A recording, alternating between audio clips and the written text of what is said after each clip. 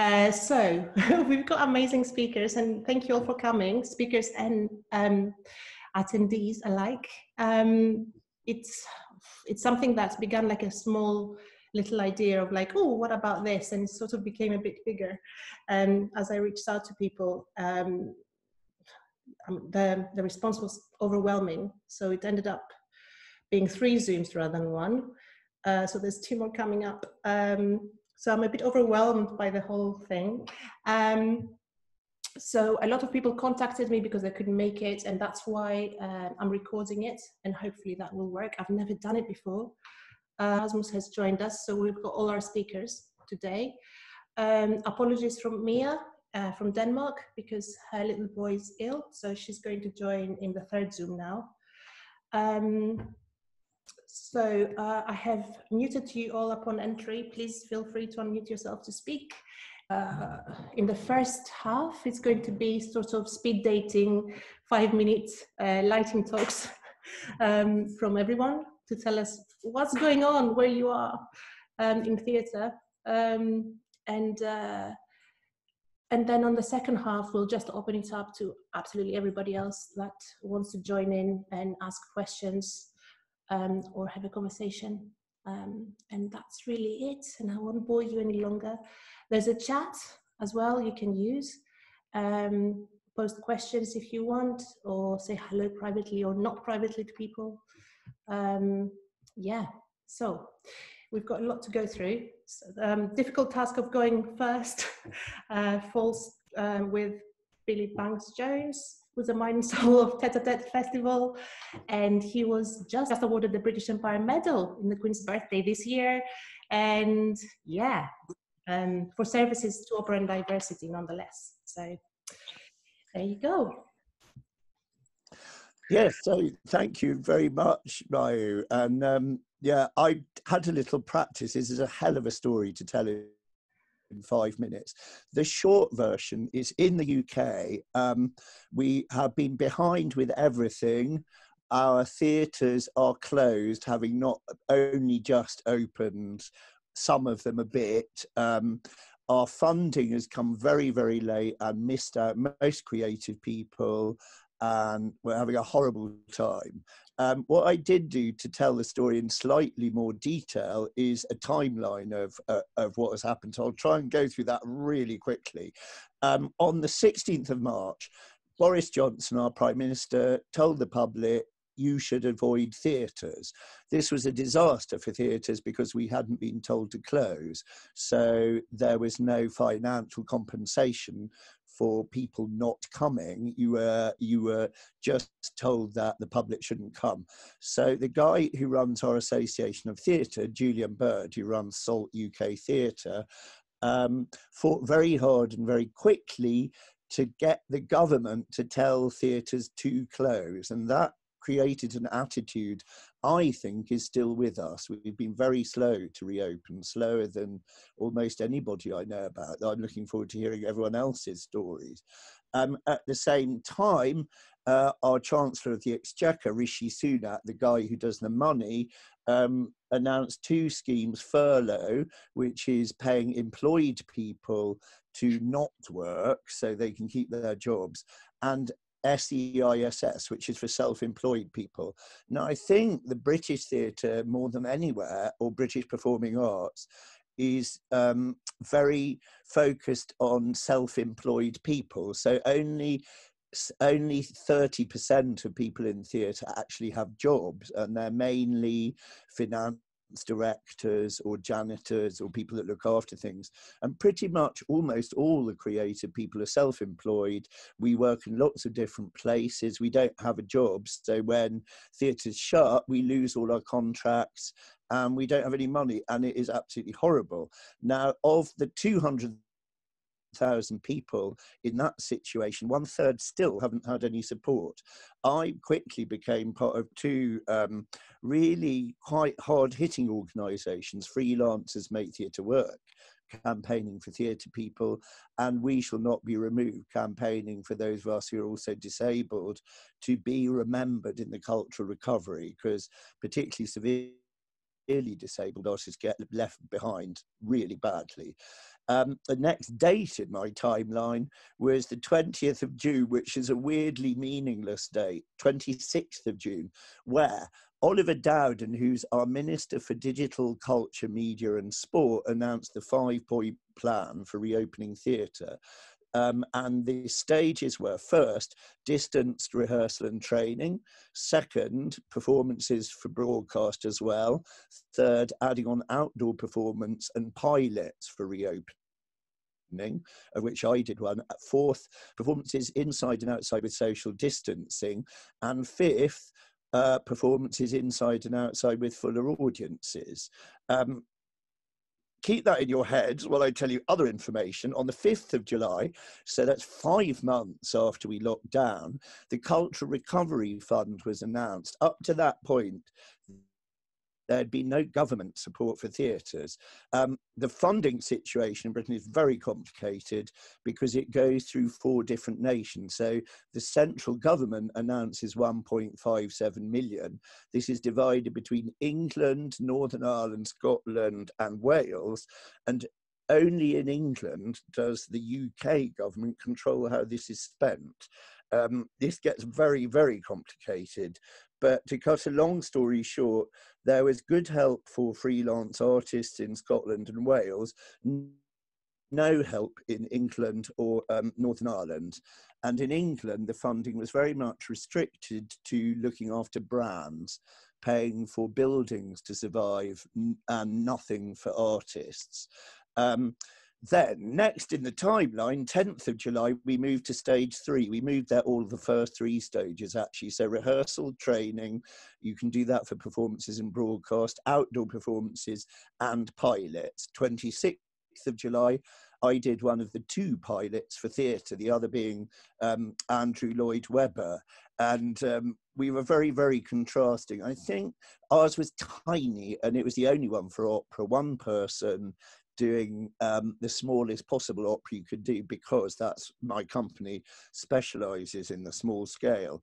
Um, that was fantastically useful for us and a very happy event actually. We had very good feedback from our audience. I think that's because we did two meter social distancing and i think andrew lloyd webber who did a concert with beverley knight in the london palladium had one meter social distancing and a rather unhappy audience anyway, um, then we were told we could reopen on the 1st of August. Then we were told we couldn't reopen on the 1st of August. Then we were told on the 31st of July we could move to stage four, that's socially distanced performances, from the 15th of August. Um, though it's at this moment that the opening changes in our four nations. So I'm not sure Scotland, somebody can correct me, I'm not sure Scotland has ever reopened. Um, but um, certainly it's it, at that moment it became different in each of the four nations. Um, theatres do get going. I ran a festival three weeks after that which Sarah, you were in actually, there you go, yeah, um, which had um, 18 different live performances in a very small theatre. It was very difficult, but also very creative, actually, and very successful at the same time. Everybody had to change what they were doing. Um, very few other theatres got going. The Bridge Theatre, Nicholas Hytner's, did a lot of monologues. Then, just as our bigger institutions like our National Theatre or the Royal Opera beginning to do tiny things, um, the uh, locked second lockdown happened. So um, Boris announced that on the 31st of October, closing us from the 5th of November till the 2nd of December. Whether that um, changes or not, I don't know.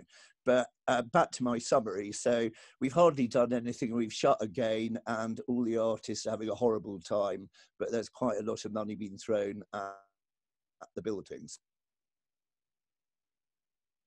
I was speaking and I wasn't, yeah. I just said thank you, that was incredible. Um, in a nutshell of what's been going on. Um, so, shall we fly to Prague? And Simona, mm-hmm. you want to take yes. yes. designer and also um, OISTAT, um, head of OISTAT Costume Subcommission? Mm-hmm. Yeah. Hello, everybody, and thank you, Mayu, for organizing this session because I think it's very important in these difficult days to share the information we have. So I will try to do a little brief uh, what's going on in my country, Czech Republic. I'm based in Prague. So since March 15, we had lockdown, which means immediate stop of activities for actors, musicians, singers, and all connecting professions. At the moment, all these people start to make uh, face masks at homes, in costume shops, in theater, and big wave of solidarity and positive energy in whole community was enormous in the spring. All these activities shows our positive attitude compared to the government, which was not well prepared, made a non-consistent decision and fumbled. So my personal situation as a costume designer for illustration was my first production in the year uh, was drama for open air stage. Premiere is postponed one year. Second uh, project was opera postponed indefinitely. And third was autorial dance performance, which was moved from April to September, where we did the premiere, three shows, and since then, theater is closed again. Uh, I'm also costume designer for film and TV, so I can say that many films doesn't start shooting at all, TV a bit, but at the moment, big increase of COVID positive in the crews make many projects stop again. There is a Netflix and Amazon project in Prague, but they have very strict rules and every two days testing. And I heard just yesterday that the biggest Amazon project, which is doing in my country, was uh, shut down just yesterday. From half of May, uh, we had gradually slackening of restriction, but still with face mask. June, July, August, uh, in some theaters continue rehearsal with any restrictions, and during September, there were a lot of postponed premieres happen. Summer open stage uh, stages was working with 50% of the audience and the biggest bigger production was limited under 500 uh, number of infected people after summer was growing up and with relieving in theaters and in shooting a lot of covid positive actors and artists was arise as well the government didn't react for this high number and for warning of specialists till beginning of December, where was the election in my country. And due this, we are in worse situation than in spring and big restriction was established again. So all culture events are closed again with some uh, exceptions. So we can do rehearsal in theaters with security measures, Singing more than five people inside is not possible. So no opera, no musical, no concerts, choir, and so on. Many concerts and performances are streamed without audience. And there is um, some new established agencies in my country who mediated an online streaming. For example, there is one new one which offer for 12 euro per month uh, streaming of wide range of performances from TV archive and also the new streamed uh, projects. Uh, what is strange in my country that especially during the summer, cinema and theater performance from car start to be very popular in my country, which was not before. Uh, there is usually the cinema, but there was also many theater performance mostly like uh, New Circus and some of them. Uh, General Theatre will be probably not open till Christmas, maybe in January, but probably in um, all, um, February. And for some of the culture segment, this situation is completely liquidating. Uh, about some state support, I can say that part of the artist was support in May with 1,000 euro in June 760 euro. At the moment, there is in a process program for supporting all freelance artists and professions in performing arts, uh, like uh, 20 euro per day, or some flat rate 2,400 euro till end of the year. Then we will see. Uh, there, were, there, there were allocated 36 million euro for culture project, which were not possible to be happened by Minister of Culture is not much, but it's something. But in the first round, there was only 6 million euro round out from that program because uh, at bad and not clear conditions. Second round is still open. Uh, we have a Department of Arts Management in Theatre Academy Damu together with School of Economics in Prague and with Theatre Institute. They did independent mapping, of impact COVID-19 to scenic and creative arts It is part of wider research about economical and production impact to actual crisis in connection with COVID pandemic. Czech in, International Theatre Institutes as an umbrella organization for Czech scenic art are working on many materials which might, which might help Ministry of Culture to understand the need of culture segment.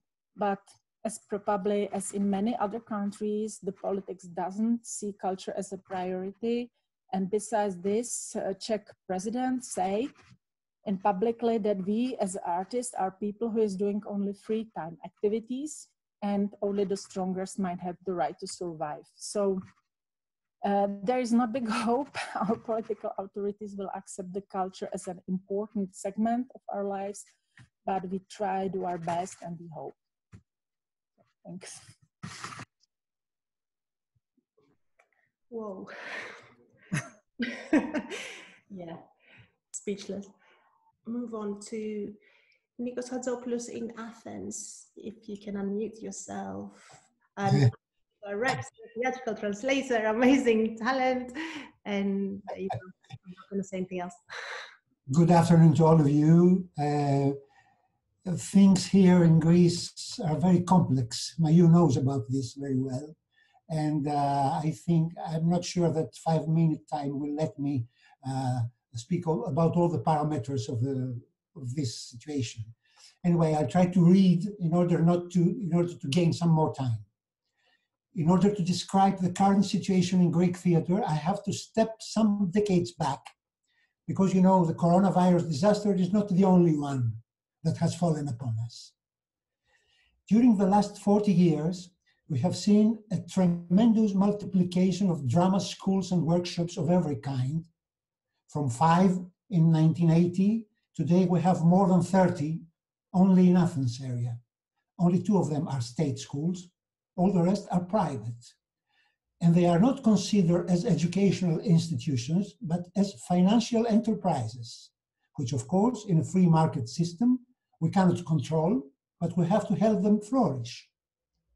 This had as a result five or 600 of new actors coming out of them every year, claiming their share in an already limited theater market.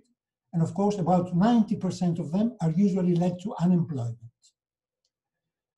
Since 2010, Greece suffers a severe financial crisis. As a consequence, all collective bargains and agreements are abolished no more minimum salaries, no more mandatory social security, no more union contracts. But schools and theaters were multiplied again.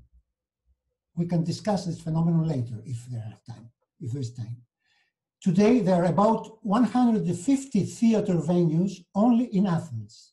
Most of them have a capacity between 100 and 300 seats, and they present about 1,500 productions per year.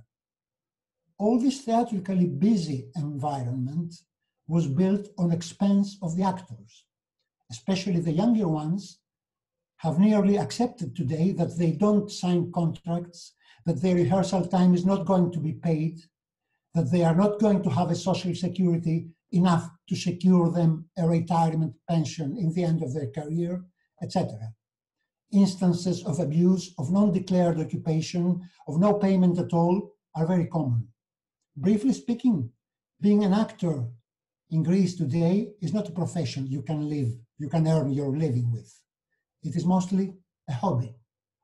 On top of this already all toxic situation, there came the coronavirus pandemic.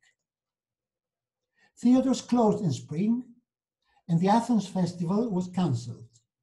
But the numerous companies that were in the middle of their rehearsals were not remunerated because they had no contracts. In summertime, since tourism is Greece's main industry, the country opened the borders, letting poorly controlled infected people in.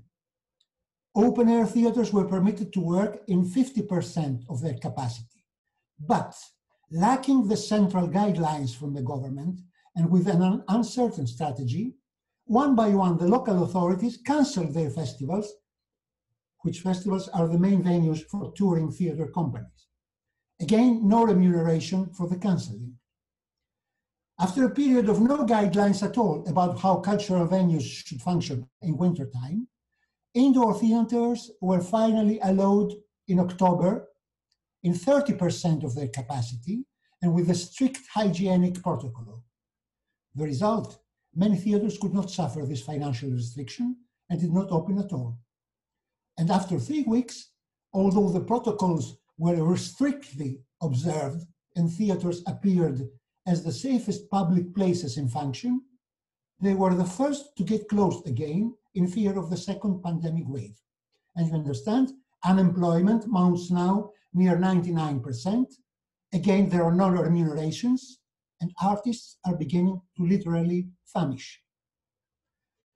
What was made clear from all the situation and was has caused many anger between the, the, the artists community is that no Greek government till now was aware of the above humiliating conditions in theater and had not culture among their priorities.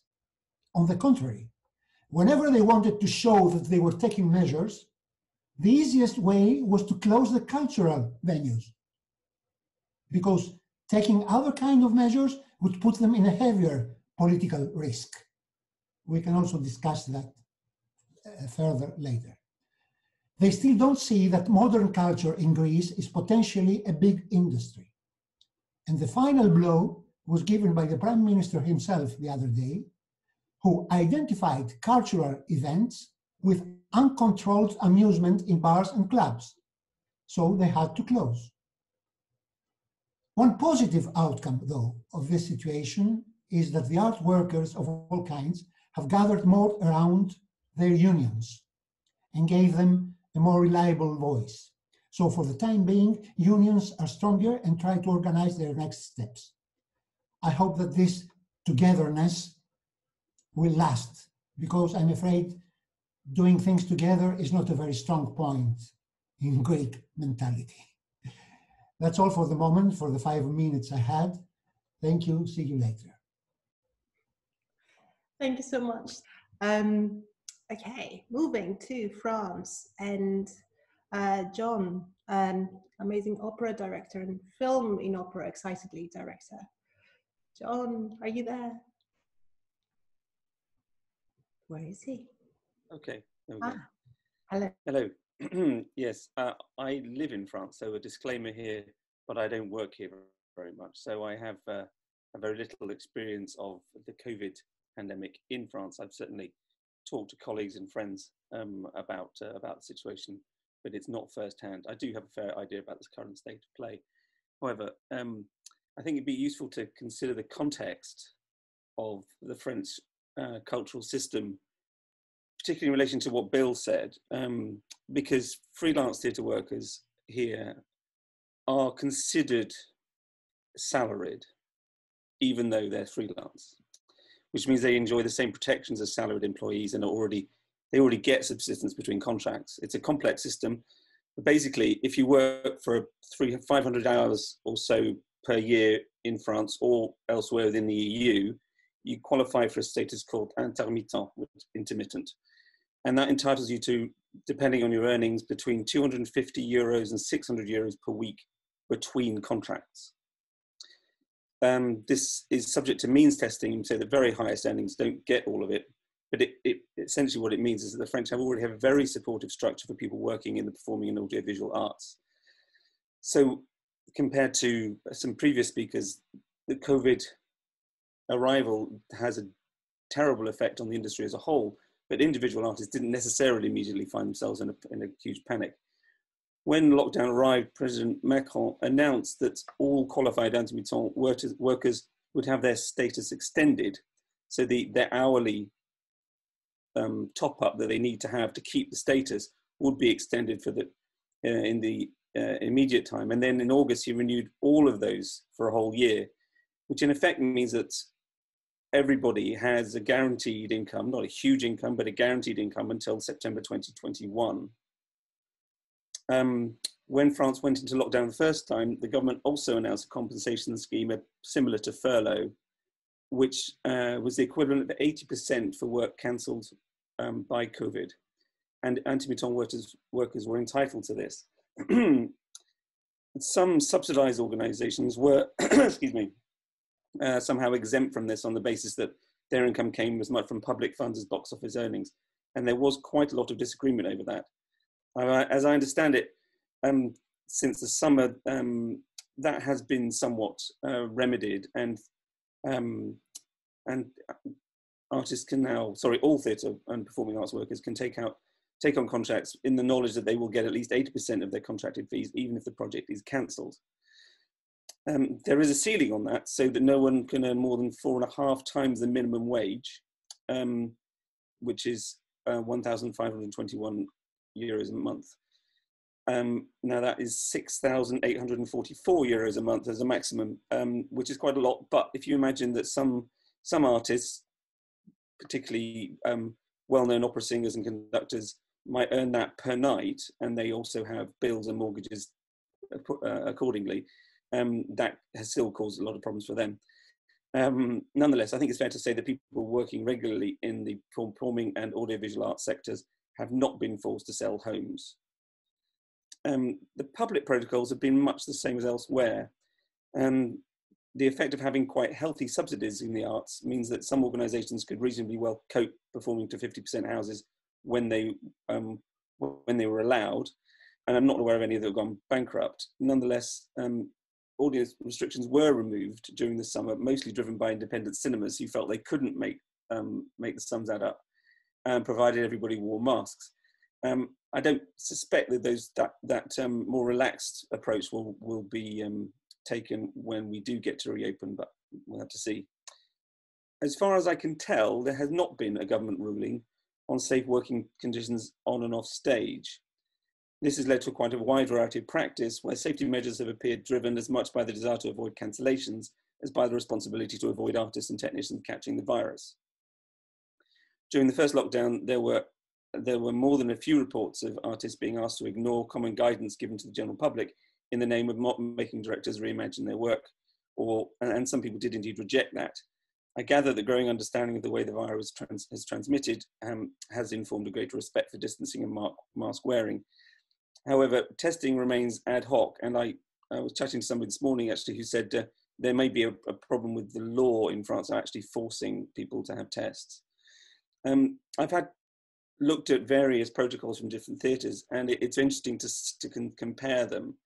Um, the they, they they range typically according to the the size of and scale of the theatre. So some have, most of them provide masks and gels, but they have different sets of rules. And they, um, a fairly small project with not much infrastructure, there are basically no rules at all um, and essentially the artists are imposing the rules, um, up to one of the major opera houses, which does a kind of movie style dividing of the, of the workforce, with people wearing red badges if they are um, if they have to be in, in, contact with each other. So these are these are uh, performers, people on stage and in the wings, in the immediate wings. Um, the people backstage who are wearing have, have, an orange badge, and then Edmund wear um, yellow badges, and all of the people wearing orange and red bags have to have tests before they can come in. They have to have their temperature taken before they enter the theatre.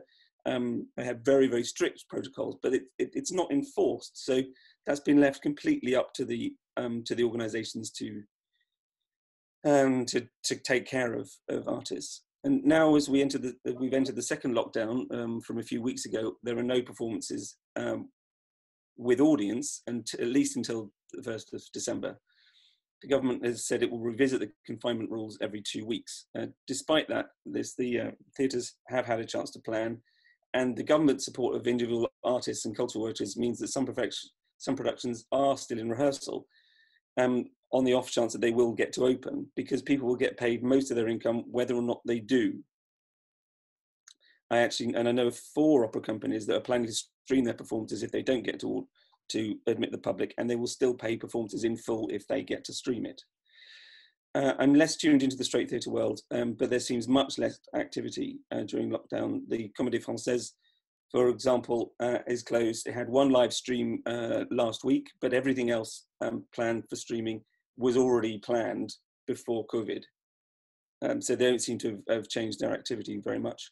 There are some live concerts um, streamed on platforms such as Arte and Medici, but there's nothing like normal activity. And some of the organizations, like in the UK and elsewhere, are streaming their own concerts, but it's like one or two a week. So uh, there's not a great deal going on. But the French, I think it's fair to say, rather took the attitude that we do what we do or we don't do it. Perhaps because they didn't actually have to earn to earn money, and so uh, things have tended to just to be on or off. We've got three speakers from the US um, we've got uh, Bryan, who's currently in Philadelphia. Um, so I think he needs to jump in and jump out, uh, and he'll tell us why. Um, uh, Irini in New Orleans, and uh, Sarah, who's actually in the UK. Um, so shall we start with Bryan to tell us why he needs to jump in and out of the Zoom as well? Yeah, I can jump in. So he's he's um, in Philadelphia right now. He's uh, the vice president and global outreach person for the Academy of Vocal Arts at uh, AVA uh, in Philly.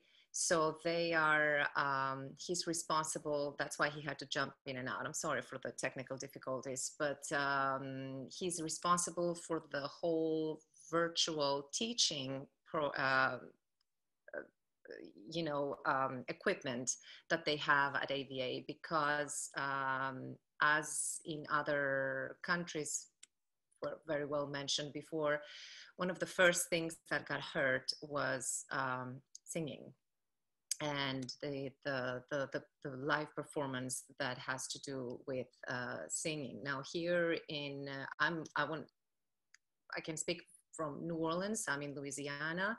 Louisiana is going, and specifically New Orleans is going now to phase three, which although they uh, allow, you know, uh, bars uh, to have people inside and social gatherings, not more than 150 people, again, they are forbidding live performances.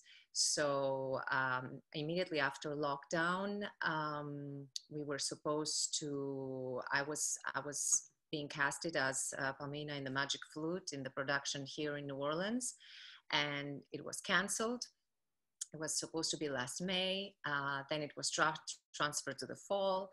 Um, canceled again. Uh, then they were trying to um, figure something out about using only local singers so that they don't have to bring in, um, el- eliminate the traveling as much as they can. Uh, so they moved their entire New Orleans Opera moved its entire season to spring, and they um, changed titles in order to have the fewer fewer people on stage as possible. Um, I was offered a, a, different part, which would be actually my debut in that role. So it was very exciting for me. But then a few weeks ago, even though it was uh, scheduled for May 2021, we got a phone call from the artistic director saying that unfortunately they have to cancel the perform the production as well because um, the New Orleans Opera collaborates with the Louisiana Philharmonic Orchestra and they are not doing live performances. They're not allowed to do live performances. So we have a nonprofit organization here in uh, New Orleans, me, my husband, and two uh, other partners. We got hit very hard. We hardly make any, we don't make anything. It's a nonprofit. Uh, but we had to cancel the few events that we have every year um, we are people would would not come to live events. However you know churches every weekend are full of people they're wearing, masks but i have seen and i have sung in weddings that there are 250 congregation with no masks whatsoever. So it's very very um, non-balanced and unfair for the arts. We have a big festival here, uh, the Jazz Fest, that happens every May. Uh, it was canceled last year, and we we we project. I mean, we we see that it's going to be canceled. This is a huge, huge income for the city of New Orleans. um, that will so it will very much um, hurt from canceling that. Uh, we have a lot of friends here that are in live entertainment, like cover bands, and that are not allowed to play indoors or outdoors. Actually, the performance that I just um, mentioned that was canceled in May was projected to be outdoor with mic and all this. Um, and still, they're not gonna they're not gonna do it. And um, another um, another platform that I see that got uh, very hurt. Uh, I am also a teacher at Loyola University here in New Orleans, and uh, we are not allowed to see our students. Our students, although they are on campus, they have some lessons that are high flex, which means they have to be social distant, you know, with wearing mask, nothing to do with singing, whether it's chorus or individual private lessons, no matter how far you are you're not allowed to be next uh, in a same room with your student. You're not allowed to have a collaborative pianist uh, playing with with you, even with distance. We are using um, the faculty's studios as what they call Zoom pods. So they have equipped uh, every room with a computer and Zoom and Ethernet cable so that the connection is be as, as stable as possible and uh, we just see our students virtually every week, which uh, uh also is one of our main reasons for a lot of anxiety in young singers, a lot of anxiety in actually graduates that were planning to go on summer festivals that are canceled.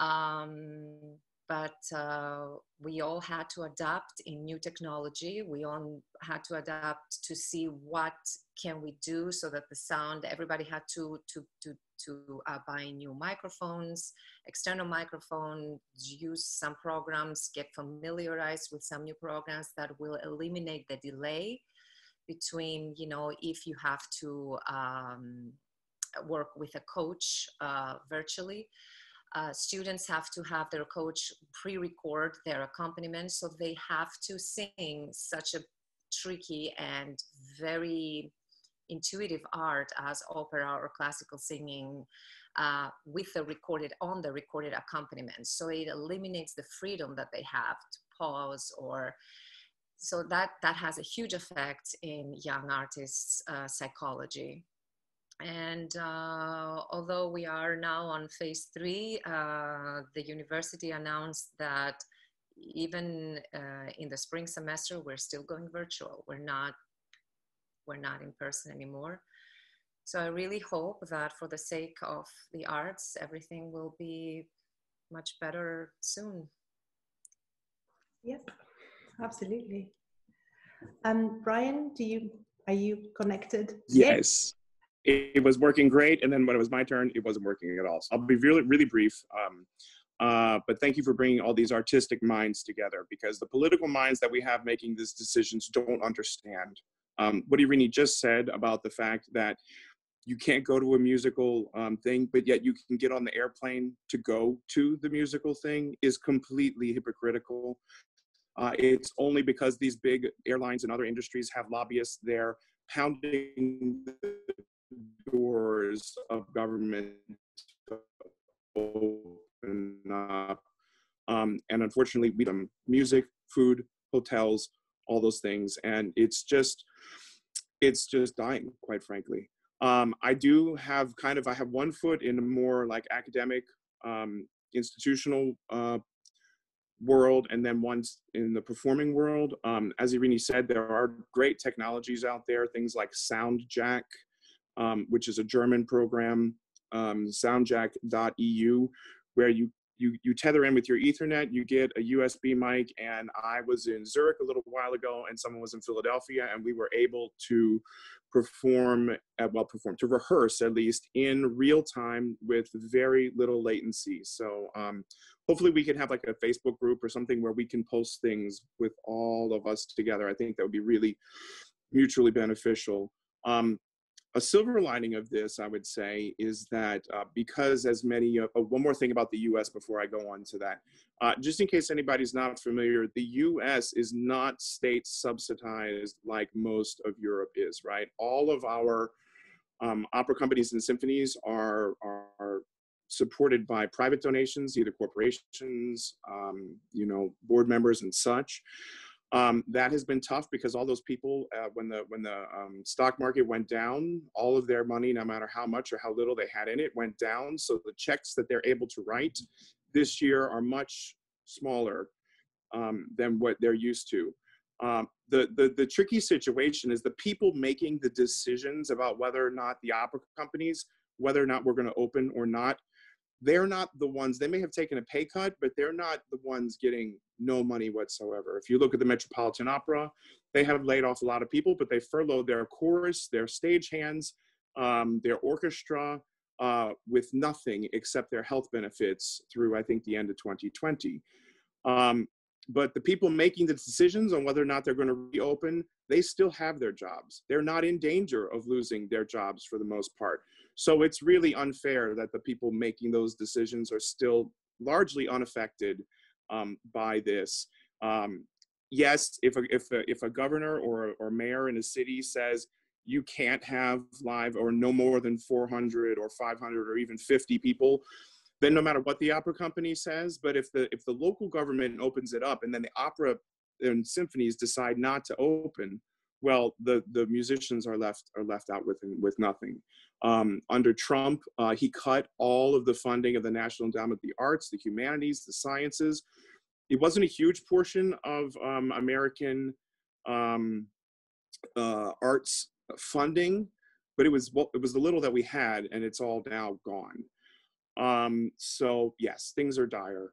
Uh, here, everything has been canceled at least till the end of 2020. The rest of the Met season to 2021. We're crossing our fingers for things in the summer, like Santa Fe uh, and other festivals. Um, I was happy to, well, not happy, but glad to be informed with what Bill was saying about things in the UK because after, you know, I have no job until May when I'm supposed to go to London to do Faust. And there's very little chance that sounding, it sounds like that's very little chance that that's actually going to happen. Uh, one good thing I can say about the American government is that um, they did offer um, what's called PPP loans, so payroll protection loans, which uh, Irini and I were able to qualify for, which was forgiven. Um, it wasn't a lot, but it was two and a half months worth of what we would normally make. They did offer another kind of called economic disaster loan, which is a loan that you have one year before you start paying it. It's based on a percentage of your income, and the rate is really low uh, by US standards. Um, so there are options from the government, uh, kind of splitting the difference between what it sounded like was happening in France and what is happening um, uh, in the UK. But the silver lining I wanted to say before I hop off is that I was able to go to Zurich because the opera company, the opera world, plans things many years in advance, and we had a, perform, a, a production done uh, scheduled for the summer. Um, that was canceled, and then we were going to do it in September again as a remount. Then it became a concert performance of that show. Then it became just Verdi concerts. Um, so we went there, we quarantined uh, for 10 days. We rehearsed socially distanced with masks, except when we were singing. And then we did five performances in the Zurich house, which we were told it was going to be sold at 50%. Um, it was actually sold at 80%, which was a little bit more, there was more people than I think most of us felt comfortable with, but that was not our decision. And I needed to make the money, quite frankly. Um, so I crossed my fingers and kept my mask on and, and, and used my hand sanitizer. Um, I can tell you that they were really successful. Um, Zurich is very um, liberal in their use of, I mean, people were wearing masks in shops and on the trams, but on the street they were not, juxtaposed to Paris. When I went there right after, everybody on the street had a mask. Certainly, everybody uh, in, in in cars and in indoors um, had masks. But I can say that although Europe has closed back down and Zurich has closed down and the opera houses in Germany and Zurich have and, and, and Austria and Switzerland have closed down as well as Spain and Italy and France. Um, it's I can say at least in Zurich there were no outbreaks there. People were taking it really seriously. And my point is that it is possible. In the audience, there were no reports of outbreaks from people who got it there.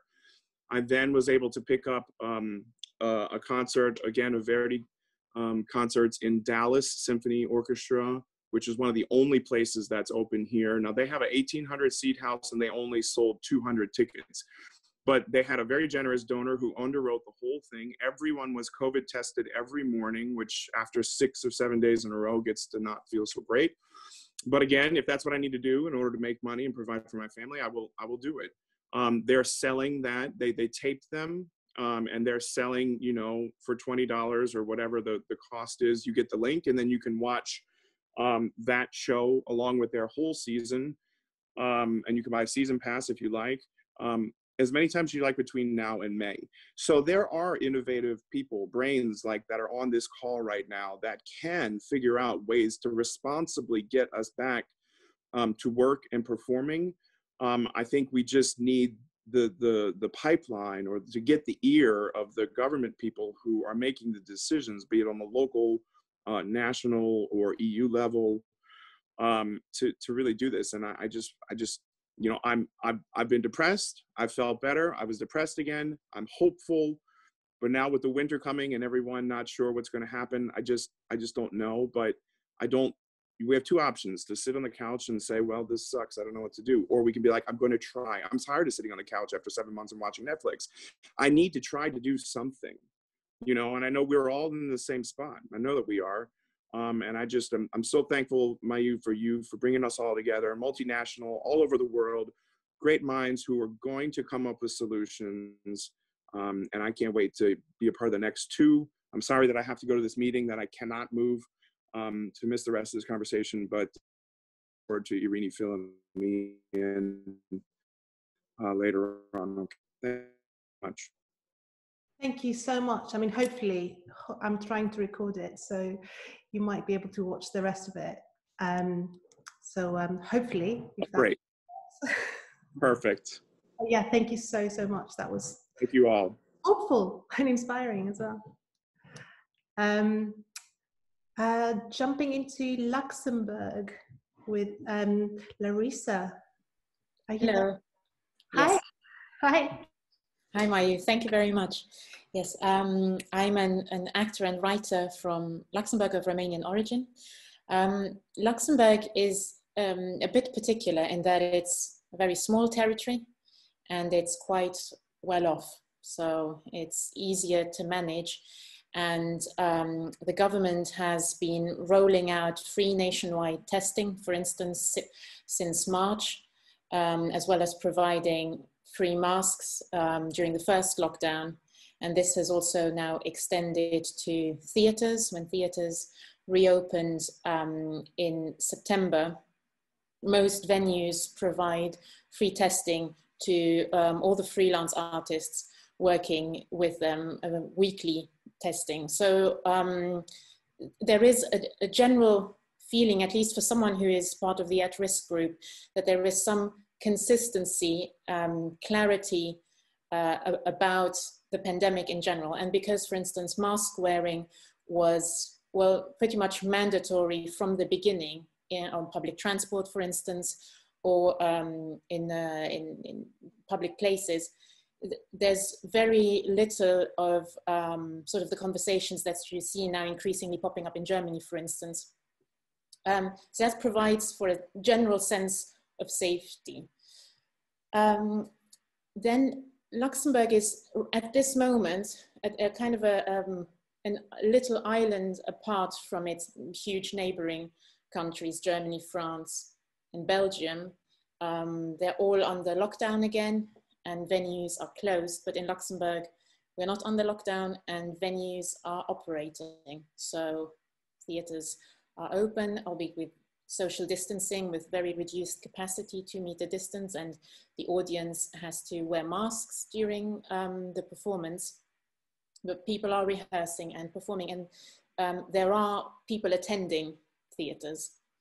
Uh, so, so, this is sort of in terms of practicality um, where we're at.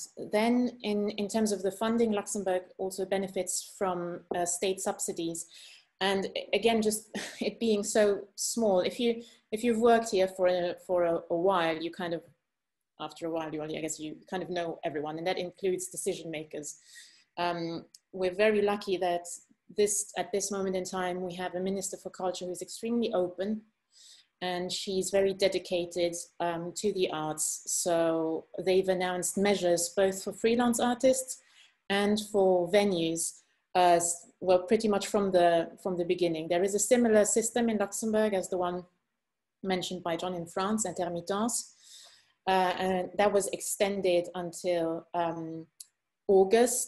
There were like just special measures for people who have theaters, and then in September, theaters opened up again and work kind of started again.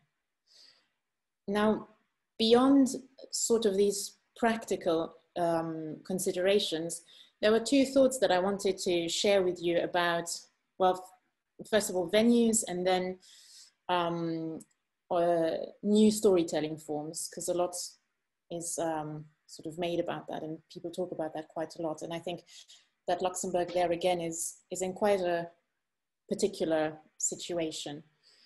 And that is mainly because it's a very, very young scene, so it's not really comparable with the other um, European countries surrounding it. So it's really only on, in the last couple of decades that the scene has grown and become more professional, that venues have been built and people employed to run them.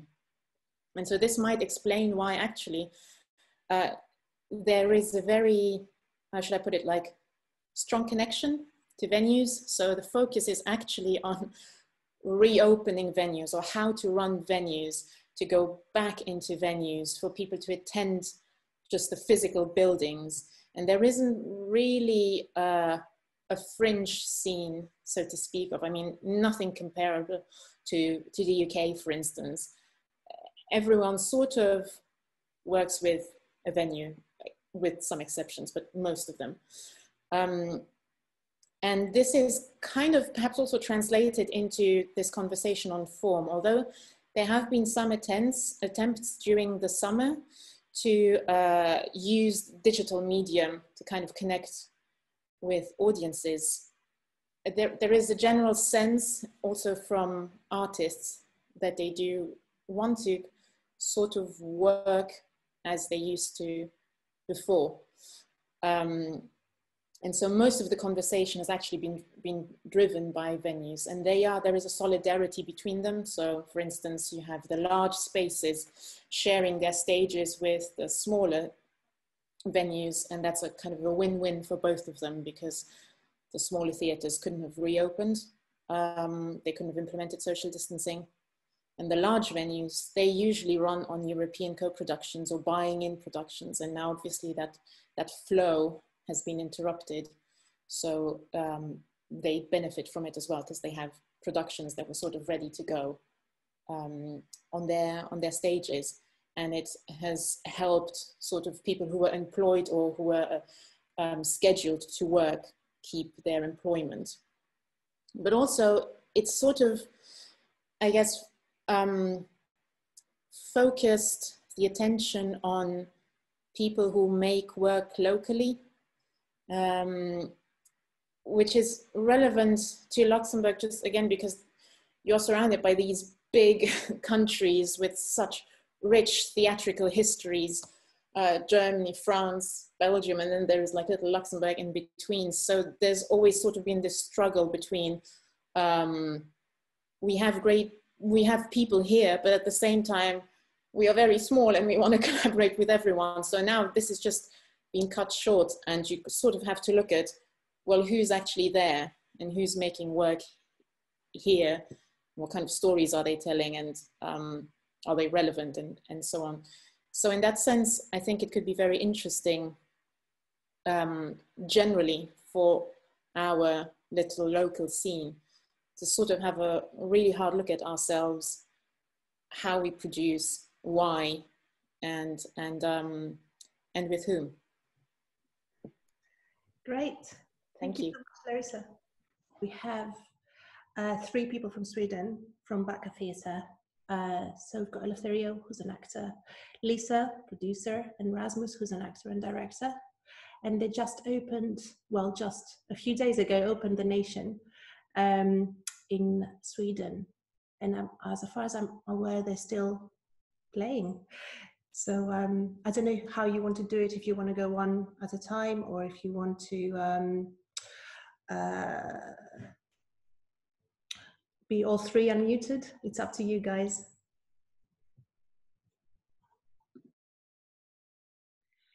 Yeah, uh, hi everybody. Um, we had a little meeting in the morning and we decided that I will start, then Lisa will talk, and at the end will be Rasmus. Um, yes, of course. Hi everyone from Sweden and Gothenburg. Um, yeah, it seems like um, everything kind of sucks a little bit here.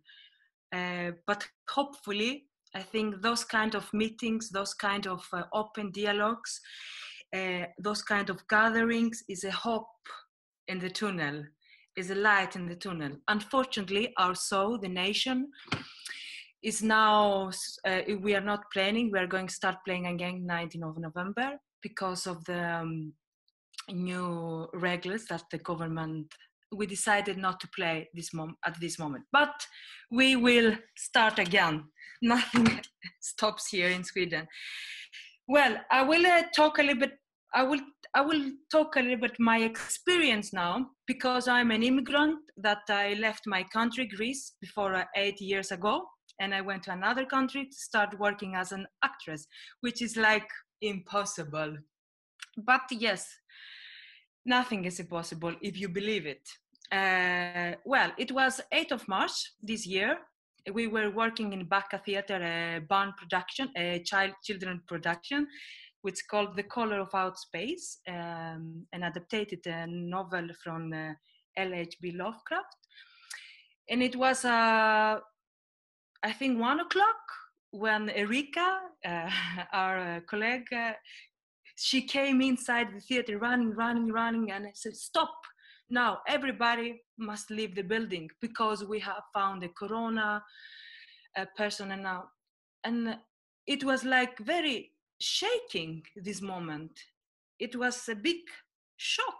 What is this? This is like a tragedy now a person coming inside and telling this. No no no. So i went up to my camarine and i pick up my things and uh, went home and just sitting and said what is this now? I, we are not going to play. No, we are not going to play. And this is, we, we decided not to play. We decided to, to close the theater for, um, from March and open again no, in October. But uh, uh, thanks to Sweden and thanks to this uh, lovely country and um, the theater decided that okay you should do something else now, Eleftheria, or some other actors. Like, for example, I have a problem with my Swedish. I'm not a uh, Swedish actress. So the theater decided to educate me in my, with voices uh, and with um, to find me a teacher that I can go and uh, be better in that. And it, that it was a big, big, big surprise for me because it's open and it, it opens a world. I, I start thinking, okay, now, now it will be great when I will go back on stage and I, I will not have this accent of, uh, um, yeah. And then uh, I did everything this period, I have to say. Yoga, meditation, uh, springing out 10 uh, kilometers uh, every day, um, watching a lot of performances via Zoom, via live streaming, talking with a lot of friends around Europe about the situation, how we are going to manage, how what is going to happen. But at the end, when um, when uh, when I'm sitting alone, I'm thinking uh, that that the most important thing right now it's to find a way to be together. Uh, and w- what I mean by that, I mean that everything that I can do here by home by this internet it's it's it's it can develop my skills as an actor. But the most important thing is to find again a way to be together even when it comes with distance. Because it's it's in the human being at find ways to be um, uh, to be to reform to empower. Uh, yeah and to find new opportunities to find new opportunities to go forward uh, I don't know. I, I, I would like. I, am not going to talk a lot because Lisa is the most expert here that uh, she can explain everything. But um, I can say also this period, this six months before we start rehearsing again, we start uh, rehearsing on uh, July, the end of July, the nations, and it was like five five hours performance, not uh, not like one hour. Uh, it was beautiful when I came back to stage. It was very very beautiful, but uh, even though that we had uh, everyday routines like um, someone in the morning used to say now please do not forget to hold to to to keep distance to be two meters uh, it it was it was a little bit difficult because we are actors we work physicals we we we have a body that needs to express and this body also it, it, it was difficult but we made it we came up to the premiere uh,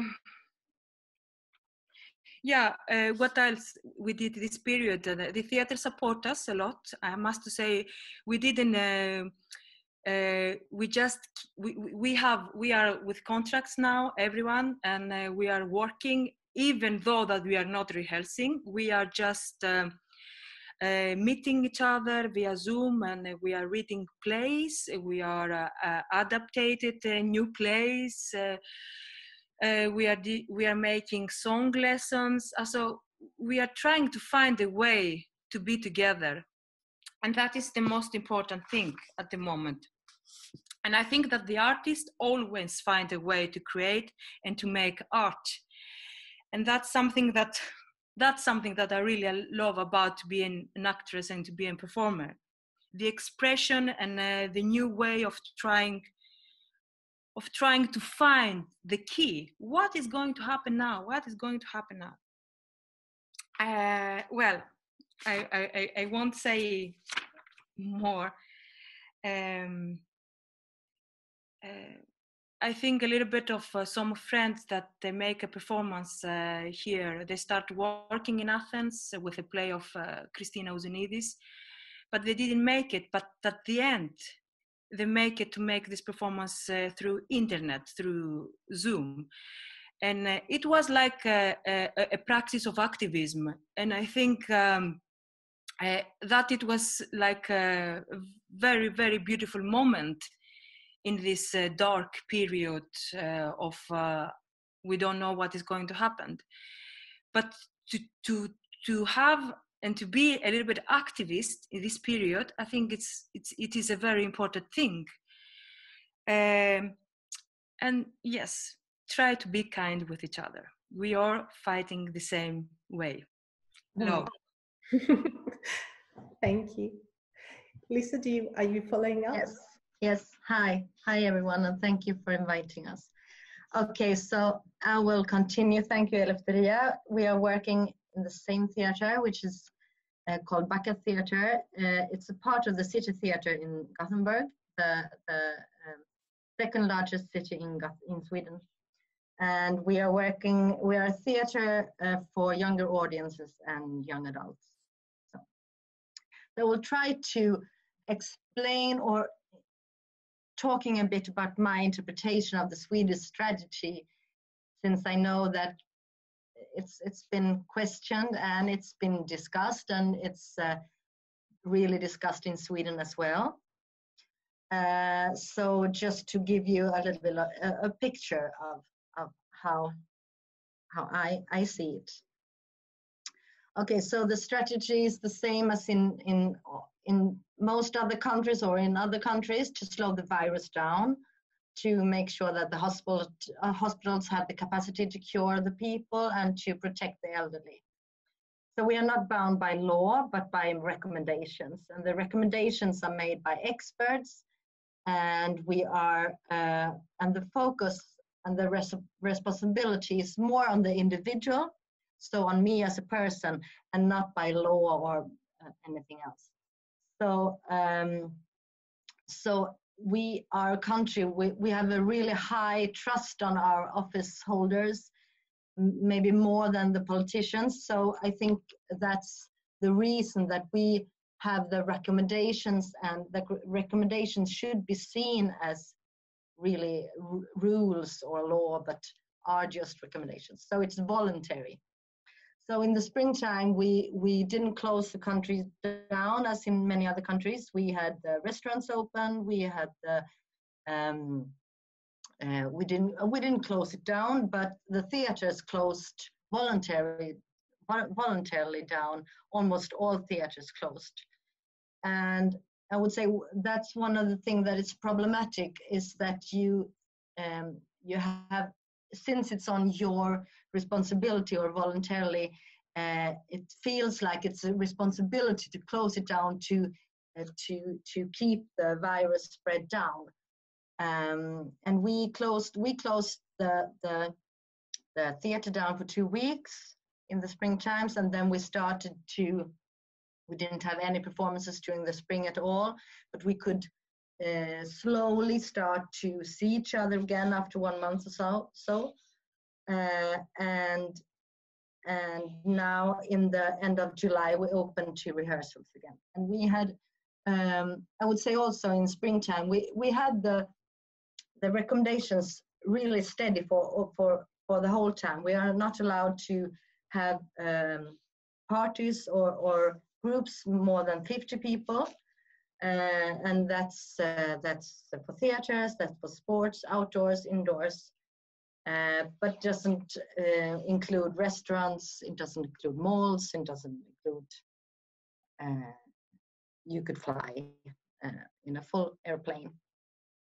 So we now have we we we came into the the autumn to discuss if we are going to, to do this performance, which is a really large performance. And we decided to, to try to do it.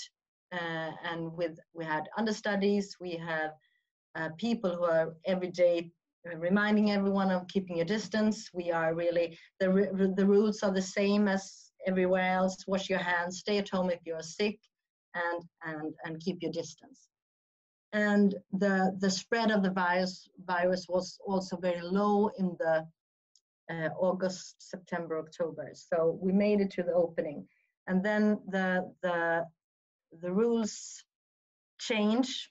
With there were a lot of discussions to increase it to uh, 300 persons if you could keep the distance as a, as a maximum of 300 persons if you could keep a distance with one meter uh, from each other. So for we have a really big hangar where we are playing, but still we could we could have 65 persons in our in our seats instead of 50. We were really really happy about that to be able to to invite more people. And then uh, unfortunately there were new recommendations, local recommendations. Now we are allowed to perform for 50 persons. But since this is now the, the recommendations from the, the government and the experts are not to go and see any shows. So we are not close, but the recommendations is as a, as a, as a uh, audience or as a, a, a, member of society, don't go and see any shows. It's a really hard um, decision to make and we have made the decision we, decision to keep it open but now in this uh, two weeks we are closed to uh, rehearse some of the scenes again to see that we are really keeping distance we're not so worried about the audience because we have been um, we have been uh, doing and talking about this and and uh, uh have really really uh, thorough rules of how the, they are seated and how they will come to the theater and everything, and they are just 50 people. But to make sure of the members of the of the, the performance that they are safe. So uh, I would say also in the for the culture um, sector in Sweden, of course, they are bleeding and people are unemployed, and it's a really hard time we as uh, as Backa Theatre, we are an institution. We are very privileged, so we can't compare ourselves with with other independent groups, which is having a really really hard time. Um, we had a meeting with the Minister of Culture, Culture who was visiting us because she she was around and meeting represents from uh, theaters, and they have made a lot of crisis money for for for the sector, but of course not enough. Um, and it's uh, the the big discussion has been why could you fly with a big airplane or go to the mall or you could have a sit at a restaurant with 300 500 people but if someone stands up and and sings a song it's a concert and then everyone else but the 50 people has to go out of the the, the, house or the venue. Um, it's a hard it's it's really hard discussions and, and decisions to make but also i mean this was now we are in a in a state where the virus is, is spreading a lot in in big parts of sweden so hard for me now to to, to say that it's it's a hard time now uh, but uh, i think the the discussions for us and for me is that uh, are we is it a responsibility to close the theater for us as a theater, even though we are allowed to play it, or uh, should we should we have it opened? Can we open again? And will the audience show up in the springtime? And uh, also a big discussion at the theater, I would say, is what what what will be the meaning and the purpose of the theater and arts in this soon to be post-pandemic world. Uh, I'm really happy about the news today that the, there is a vaccine on its way. So, uh, what would be the the the art? What could the art mean in the springtime when the, the pandemic is gone? And what will also this new uh, ways of meeting and the context we have now with these countries like this meeting, for instance, what could it mean and what could be uh, develop for kind of art. Fab. Okay. Thank you so much, Lisa. Um, hello, Rasmus. Hey, hello. Uh, yeah, I want to begin to apologize for my perspective. It's more personal than my day-to-day reflections of working in a theater, but uh, maybe you need that also. Uh, uh, thank you for the invitation and uh, uh, thank you for listening to all of you. We do it with solidarity and curiosity and solidarity, of course. And uh, we were talking about togetherness, and you can also worry together. Despite the inspiring uh, talk, uh, I must admit that one of my reflex is to hide or maybe have computer problems and uh, uh, just order a pizza and uh, watch some TV. And that is because of the fear, the laziness, and the apathy.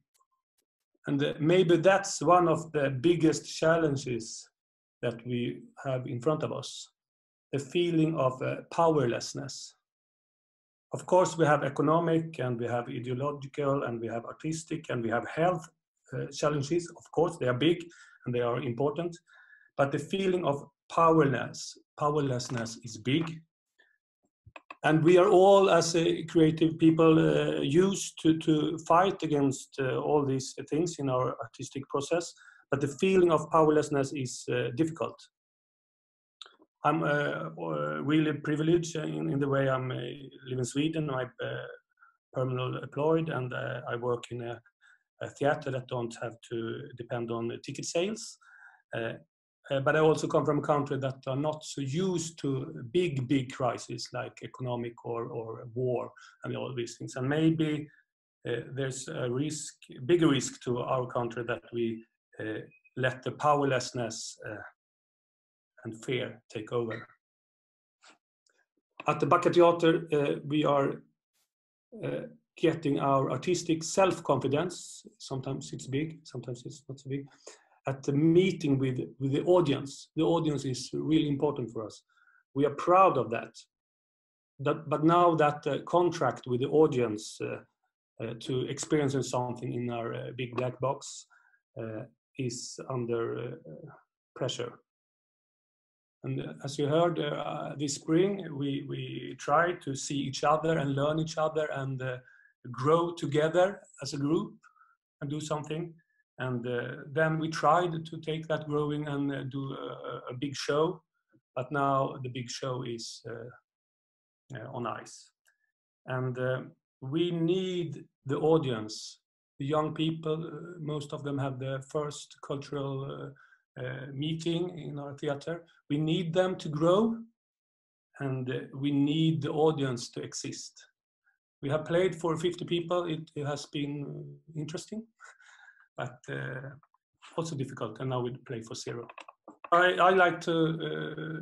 Uh, I'm sure many of you have uh, uh, read the text about that Nicholas Berger's wrote the 3rd April, and you can talk about it a lot. It was the forgotten art of assembly, and many of the many things in that text I think is interesting, and we should talk about it. Maybe not in this group, but we should. It's uh, that we have time to consider how we build a system that prioritizes people. So when the next tragedy hits, we can work with that. Uh, he also say, lean into the pain, the mourn, and remind us that mourning is a human act, not a digital. Thank you.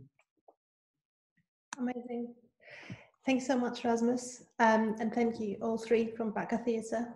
Um, back, jumping back to um, the United States, but via London. Um, so Sarah, are you there? Okay. Um, so, full honest disclosure, I'm American, but I'm also a naturalized British citizen, and I've been living in the UK for 15 years. Um, I did spend half the year um, with my mom in Chicago, um, but wasn't doing any theater um, I only have one kind of recent experience, like personal experience of American theater. So a lot of this is things I've read and things I've heard anecdotally and what I've picked up. Um, and so if anyone wants to jump in or correct me, um, feel free. I won't be offended. Um, I'll speak more to theater, um, as we've already heard about the state of opera and live music to some degree. Um, and it's just an overview and, and some things I've kind of picked up on.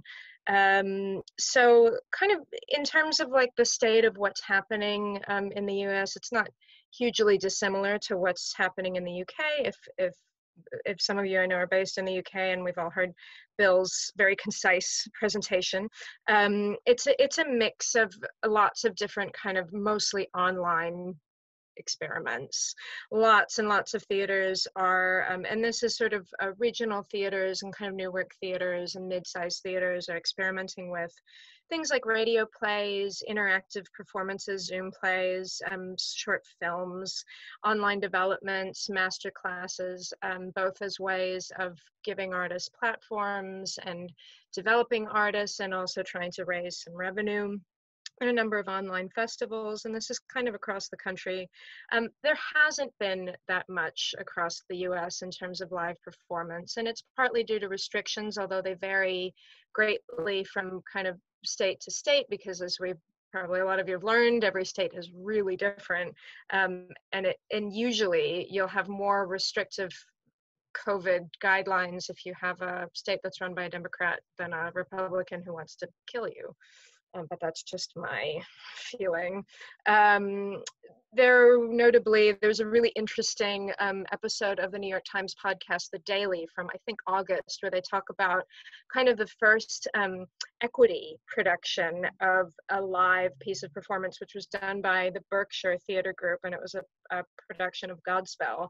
Um, but it, it was distance, and there were masks, and there, there are a handful of um, companies and festivals that have done some live work, like for instance, Milwaukee Rep is operating at 35% capacity for live shows, and they also have a streaming option. Personally, I think that's nuts because Wisconsin has one of the worst COVID rates in the country and people are dying at very high rates, but maybe that's just me.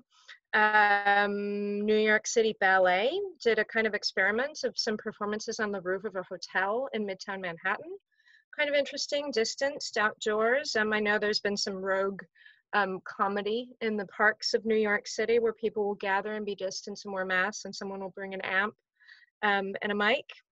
Um, a lot of uh, companies that are still operating have pushed their there's a sort of this idea which is similar in the uk there's a sort of pipeline backup of productions so you have um, a lot of the, the shows that would have been happening in this current 2021 season um, most theaters are, are doing their best to honor those companies and productions and pushing them forward to um, 21 22 um, so it looks like there won't be like new new productions until 2022 2023 um, they're they're trying to some of them are sort of some people have just canceled this year altogether, but some companies have tried to respond to the moment and are rejigging a current season mostly online in order to incorporate more um, work by artists of color performed by and or performed by artists of color directed by artists of color to try to just be more ethical in response to the moment in response to an open letter um, that came out over the summer called we see you white american theater written by a group of um, artists of color because in the US, um, the whole issue of COVID is so tied up with so many other things like the election and Black Lives Matter movement. Um, and some, what's really interesting to see is that some theaters are working towards more sustainable policies in terms of their um, the way they treat their their artists and and working habits. So, for instance, Center Stage, which is in Baltimore, um, is instituting policies around shorter working hours, a six, five day working week as opposed to a six day, eight hour tech day as opposed to a 12 hour tech day, paying writers to come into rehearsals, things like that. Um, the Oregon Shakespeare uh, Theater um, in Portland, which is a big, very important theater, is um, interested in trying to invest more in sustainable theater practices rather than just flying people around the country, partly because they've been hit so hard by the fires in, in um, the Pacific Northwest this, this summer. Uh, and their website said 75 people in their staff have their homes burned down. So there's a lot going on that's in the mix. Um, so it's not all bad, but it is grim. There, there are some opportunities for, say, writers. I don't know if there's quite so much for company driven work. There usually isn't in America or performers. Um, artists are, as, as, as Bryan and Irini were talking about, on various kind of unemployment schemes depending on what state you're in and what you what you have access to. There was the cares act the coronavirus aid relief and economic security act that was passed in march that gave everyone a stimulus check and 600 um, dollars a week which for some artists that was like far more than they were making before. But unfortunately that um, expired in august and the idiots in um, Congress and the Senate can't get their shit together to uh, pass another bill. So people are suffering while they screw around. Um, you can hear the anger in my voice. Um, it's hard for me not to see this politically. There is uh, a campaign called Be an Arts Hero. And there are unions and organizations and institutions who are campaigning um, and trying to lobby uh, Congress and the Senate to pass a kind of an arts relief bill in the way that bigger organizations like you know the the airline lobby has been able to successfully do i don't think it will pass but maybe with biden maybe if we get the the senate in georgia who knows? Um, broadway has come to a standstill as a lot of people know. Um, their model some say that their model has actually been hit harder than some of the mid-size and regional theaters because it's more commercial. And so no ticket sales it's you know it's much harder um, i've heard a lot of people complaining about a kind of lack of leadership coming from the commercial sector. There isn't i mean say what you will about andrew lloyd webber but in the uk for instance people like andrew lloyd webber and sonia friedman have been trying to kind of experiment with socially distanced theaters and solutions and that doesn't seem to be happening in the in the um, the, the broadway parallel. Um, so broadway's closed till may.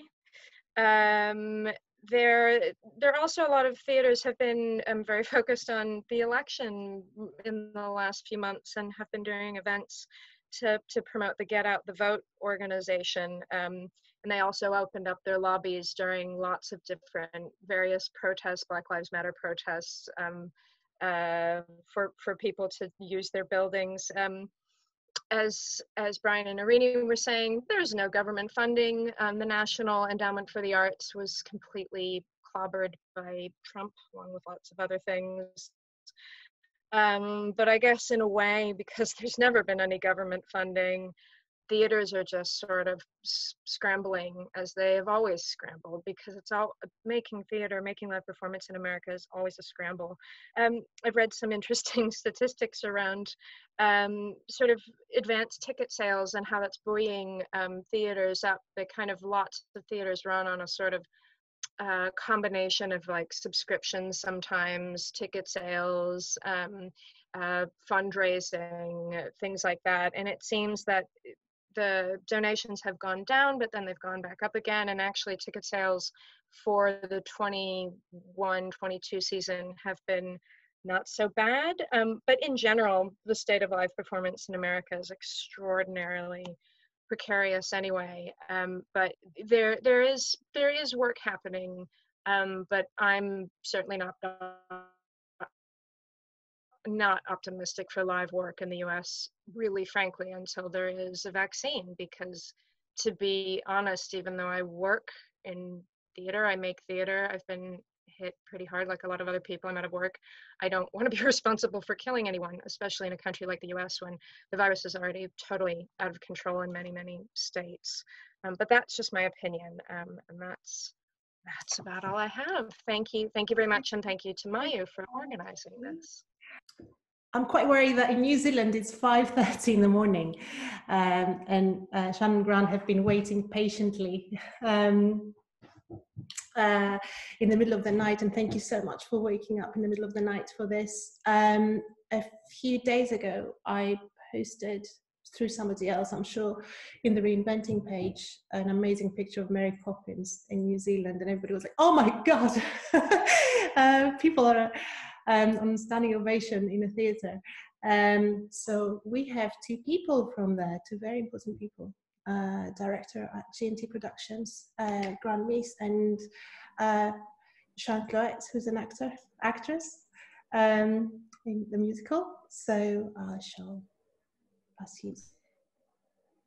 Yeah, um, good morning, everyone. Um, as you can see behind me, the sun is starting to come up. So that's a lovely little backdrop I've got um, happening. Um, I, yeah, as uh, just want to say thank you um, for everyone. Um, I am sitting in a really um, quite privileged area, I think, because in New Zealand we have managed to put a hold, got a hold on the virus at the moment. And as um, Mayu said, yeah, I was lucky enough to play the part of Mary in Mary Poppins, um, which has just recently uh, closed over the um, over the last weekend. Um, and yeah, we were able, we're in the really fortunate position that we were able to perform to a full theatre, um, and the feeling was surreal um, to be in the biggest global production um, that was happening at the at that time. the audience numbers was uh, 18, 18 to 1900, which is just um, unbelievable considering um, what's happening around the place. Um, but like you guys in March, we know we did, um, theatre was the first thing to be closed. Events and theatres in New Zealand was the first thing to um, just say, no, close your doors. And we kind of got about, I'd say, oh, I want to say a week's notice, you know, that Mary Poppins wasn't able to go ahead in our original in our original season, um, and that was just what we had to do. Um, however, we were lucky in the fact that our government did have a subsidy available for anyone in the um, like performing arts world, and and basically anyone that could prove that their income had um, had been lost either full time or part time. So in New Zealand, it is it's not very common that you are working full time as an as an actor or in the um, musical theatre realm or performing arts realm. So we were able to have, um, yeah, we were able to, even if we were a contractor or, or something, we were able to apply for a subsidy because we were going into a four week at that stage it was going to be a four week full country lockdown. Um, however, as we all know, events and theatre was not going to open at a level three or um, three, two, or it had to wait until the very end. So there was 12 weeks worth of a subsidy available. Um, and you could apply for that almost straight away and you were able to get that within 24 hours. Um, it wasn't, it was like minimum wage, um, but you know, everyone was able to make ends meet and everyone was able to um, get through that um, time. And as a country, we kind of just stuck together and we were able to um, map out, like stamp out the virus as it was. Um, Auckland, where I live and where um, Mary Poppins was um, put on, did go into a second lockdown just as we were starting to rehearse Mary Poppins again. so we uh, had to rehearse as a via Zoom, which was interesting. And also then when uh, we were able to meet in bigger crowds, we were then rehearsing in masks and singing in masks, which like you just was um, not ideal. Um, and then again, at Auckland, we managed to get back to a level one stage, which means that theatres and large crowds can gather um, and we were able to get Mary Poppins on the stage and in front of an audience. Um, since Mary Poppins, we do we are able. New Zealand is still in level one, and so we are able to perform. Um, there is other shows starting to open, and um, yeah, again, I'm performing this weekend, and I just it's in a yeah, we're just in a really lucky position. Um, Australia, there's no one here from Australia, but in Australia are also starting to announce their shows and their um, and ideally as New Zealand and Australia can start to get a bit of a bubble happening. Are we talking bubbles in New Zealand? It's I'm not too, I'm not too sure. It's, it's uh, uh, so we have um, we have bubbles of people, and so ideally the plan is for us to have bubbles of uh, of countries, um, and with our Pacific um, neighbours as well. So um, at the moment, New Zealanders can travel to Australia without quarantining, but we just can't come home without quarantining. So it's still a bit of a risk to leave New Zealand um, because you can't get back in really easily without having a voucher and um, things like that. So at the moment, I'm staying put in New Zealand. It's a, I'm able to sing, I'm able to perform. Um, it's, I'm able to be yes, a yeah, as I say, I'm sitting in a really um, privileged position over here, and um, yeah, just sending you know sending love to everybody out there who's not quite there yet. And I totally um, I'm empathetic and I feel for you guys. Um, but yeah, being a part of Mary Poppins at that stage was just unbelievable and, and an absolute yeah privilege. And one of those people that made it happen is um, Grant, who's going to be speaking now. So over to him because his it was his risk taking and him and the um, the rest of the production crew and their um, resilience and just get we get knocked down and we stand back back up again was um, able to just lead the cast and able to get us to where we were. So Grant, take it away.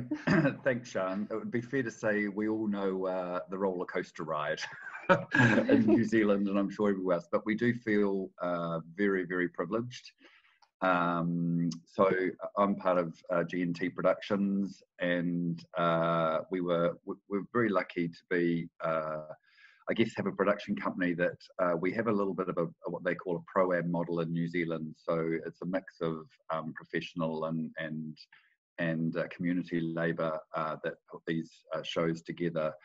musical theatre in New Zealand generally hasn't has been too expensive, I guess, a commodity to present because we're such a small country and we have such a small audience base in terms of, uh, you know, four million, and uh, it's very hard uh, to to do that on a full time basis uh, with a company. But to be able to uh, mount Mary Poppins recently, uh, as I'm sure many of you know.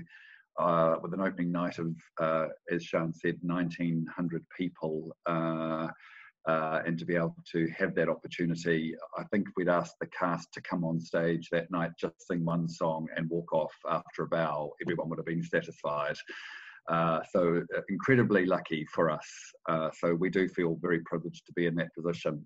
Um, saying that, it's a, it's a, it is still quite a mixed bag in New Zealand. Um, many of the uh, full-time theatre companies, our, uh, say our Auckland Theatre Company, have elected to cancel productions of various sizes.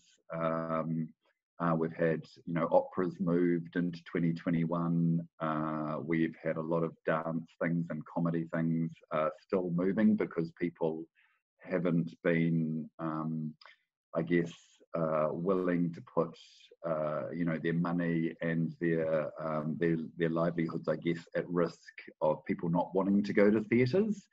Uh, but what I'd say, certainly from our point of view, is, uh, if you can find ways to work with people to get your events to stage at some point when it's safe from the virus and, and when you've got protocols in place, um, people are desperate to get back into theatres. And there's no doubt from our season that we saw um, uh, audiences very willing to go back. And in fact, um, because New Zealand's in a, in a good place with COVID, you know, uh, apart from our matinee performances, we saw very few people in masks.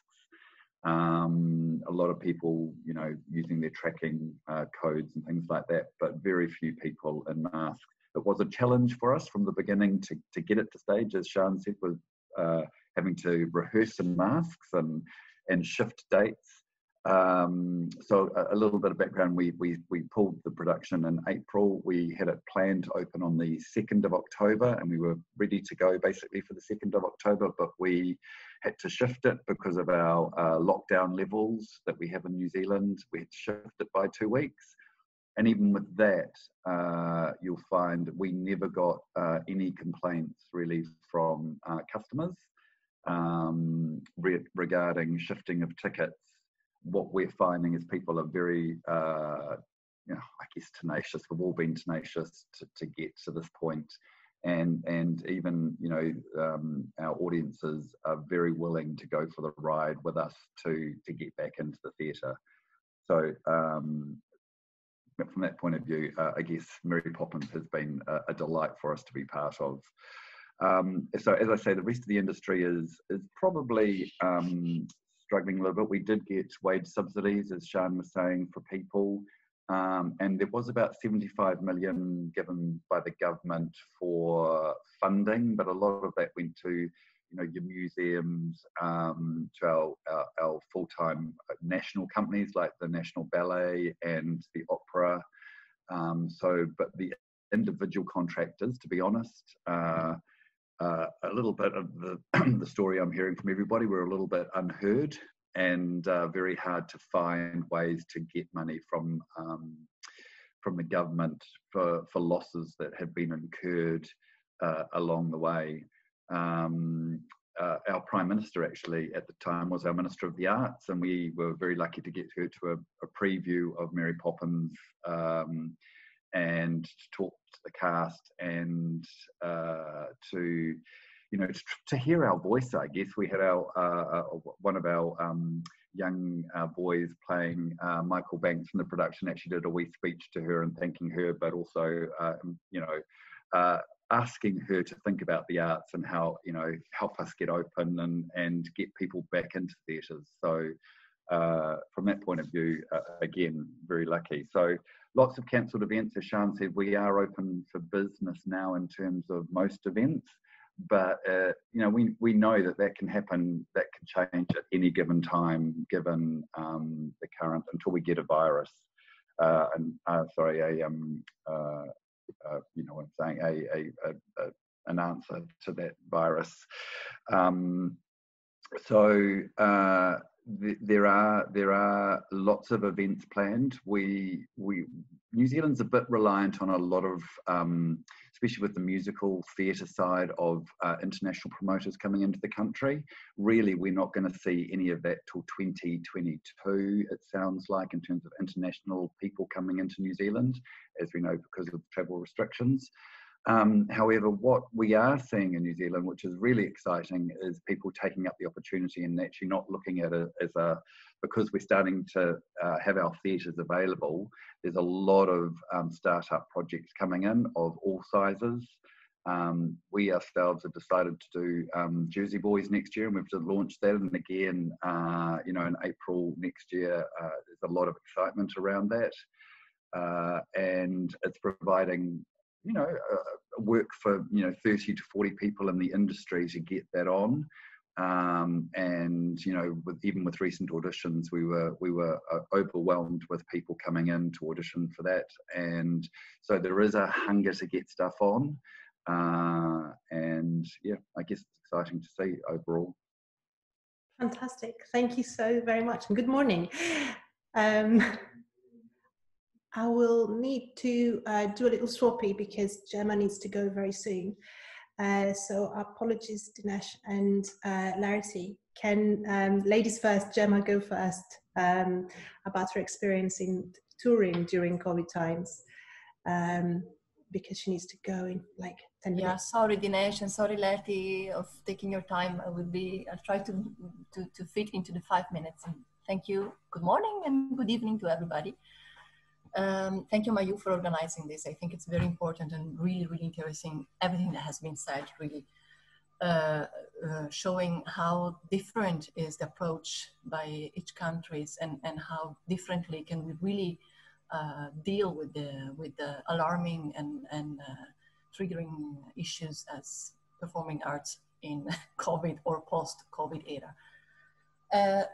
Um, I will start from what Grant was uh, talking about, uh, something that uh, uh for me it's really important as I'm, uh, I'm working as an actress and as a director uh, internationally and, and traveling around, touring around a lot. And so, especially when the pandemic happened, um, the fact of traveling was, of course, impossible in the beginning uh, with the months, it was proven that we could actually keep on traveling and keep on working, uh, given certain measure and certain safety um, um, uh, checks uh, that allowed uh, me and many many colleagues colleagues of mine uh, traveling and and working physically in presence in many venues in Greece, in in Italy, and in Sweden, as, as my friends has already told. Uh, I have Italian and Swedish origins, so I will not talk about Sweden as I've been already uh, uh, ex uh, yeah, extensively uh, spoken about. I can talk about the Italian situation a bit, which is disastrous, as, as at least as, as the Greek one. I, I was listening to Nikos and to and uh, I was uh, really, uh, I, I, found striking how many similarities we are facing with the Greek art workers. Um, so to make a long story short, what's happening in Italy is actually the lockdown, the total lockdown of every cultural and artistic activities since October. Uh, I'm talking, of course, about the second lockdown, uh, or what we are like talking as a second wave of the, of the, of the pandemic. In the first lockdown, of course, everything was closed. The artists uh, in Italy reacted quite well. They were uh, trying to, of course, they, they supported the decision and they were trying to, to make anyway some kind of activities that could uh, uh be a kind of an example of uh, resistance and resilience in, this, in these hard times. Uh, though the, the state support was completely uh, uh, nullos. So uh, what we had from, from, from the cultural minister was very, very few money for the institutions and for the freelancers as well. Uh, actually, it's in, I would like to stress out the fact that the first call out for state support for the freelance art workers uh, was uh, so um, like was was made uh, in a way that very very few people could apply. And uh, i'm talking about uh, um, one of the criteria was that to have 30 days uh, of insured and paid work the, of the previous year.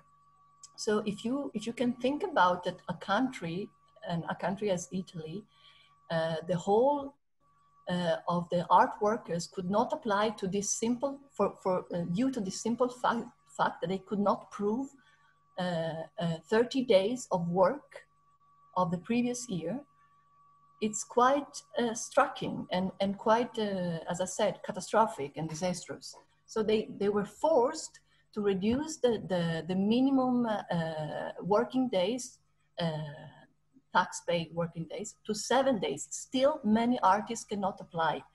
The few artists that could apply and they got the, the um, eligibility, they still are, many of them are still waiting for the money to arrive to their bank accounts. Uh, the very, like this kind of little, we're talking about 600 euros per month for two months only.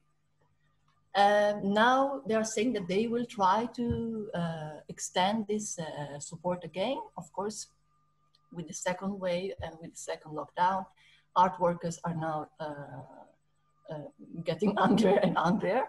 There are some uh, manifestations and they're trying to have a kind of a dialogue and a, and a kind of panel with the minister, the Minister of Culture,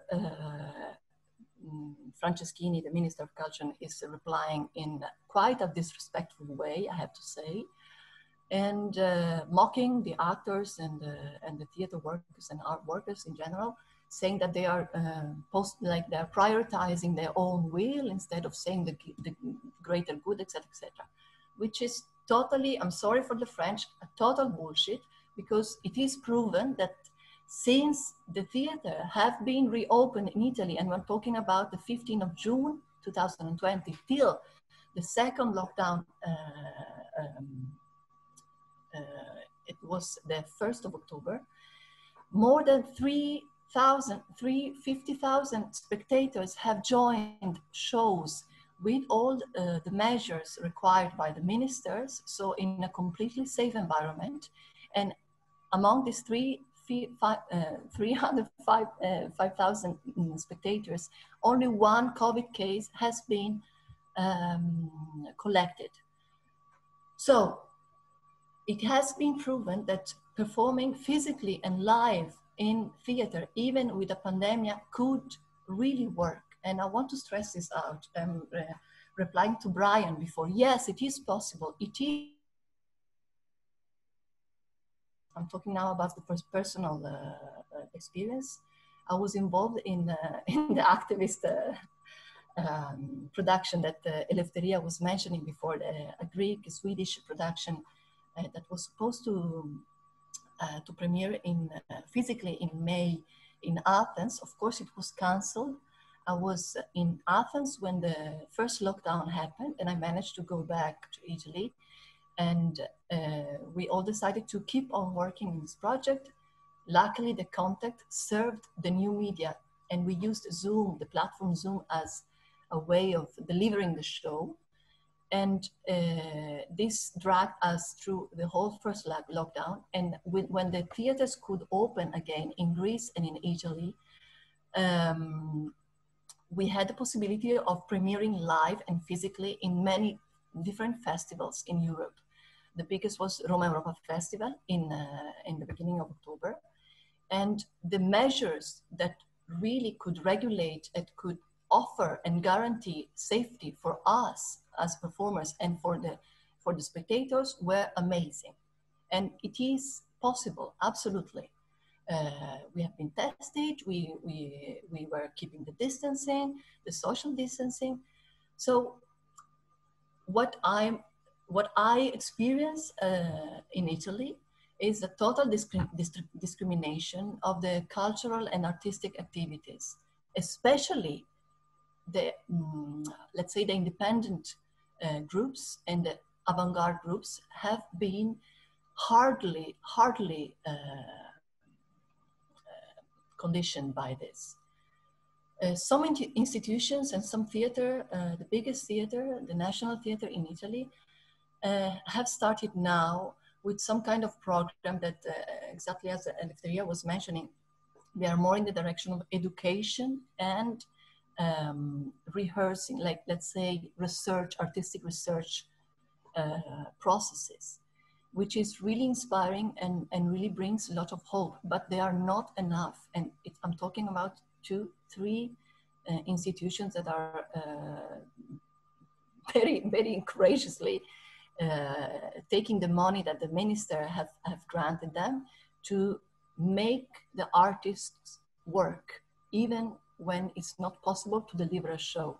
even when the, the stages are closed, even when the audience does not uh, come to the show. Um, so um, I don't know how to conclude this speech, but uh, on a way, yes, it is possible to continue our work and we have to demand this now because we have proof that this is possible. Uh, many different systems in many different countries. So really we have to uh, uh, demand to our governments to make this possible. And secondly, uh, I, I can just uh, I can just give to you my, my personal experience as as a freelance the the uh, the condition that we are that we're facing are extremely hard. All my productions that are international and big productions involving you know uh, uh, theaters from Greece, uh, Sweden, and Italy, national theaters, they have been postponed or cancelled. We, we still don't don't have any answer. But in this total limbo, in this total uh, um, Lehman uh, uh, dimension, I have to say that I found uh, a big source of inspiration and strength in my colleagues and in the fact that, that we found ourselves totally uh, outside of the, the normal practices, the normal procedures, the normal production procedures.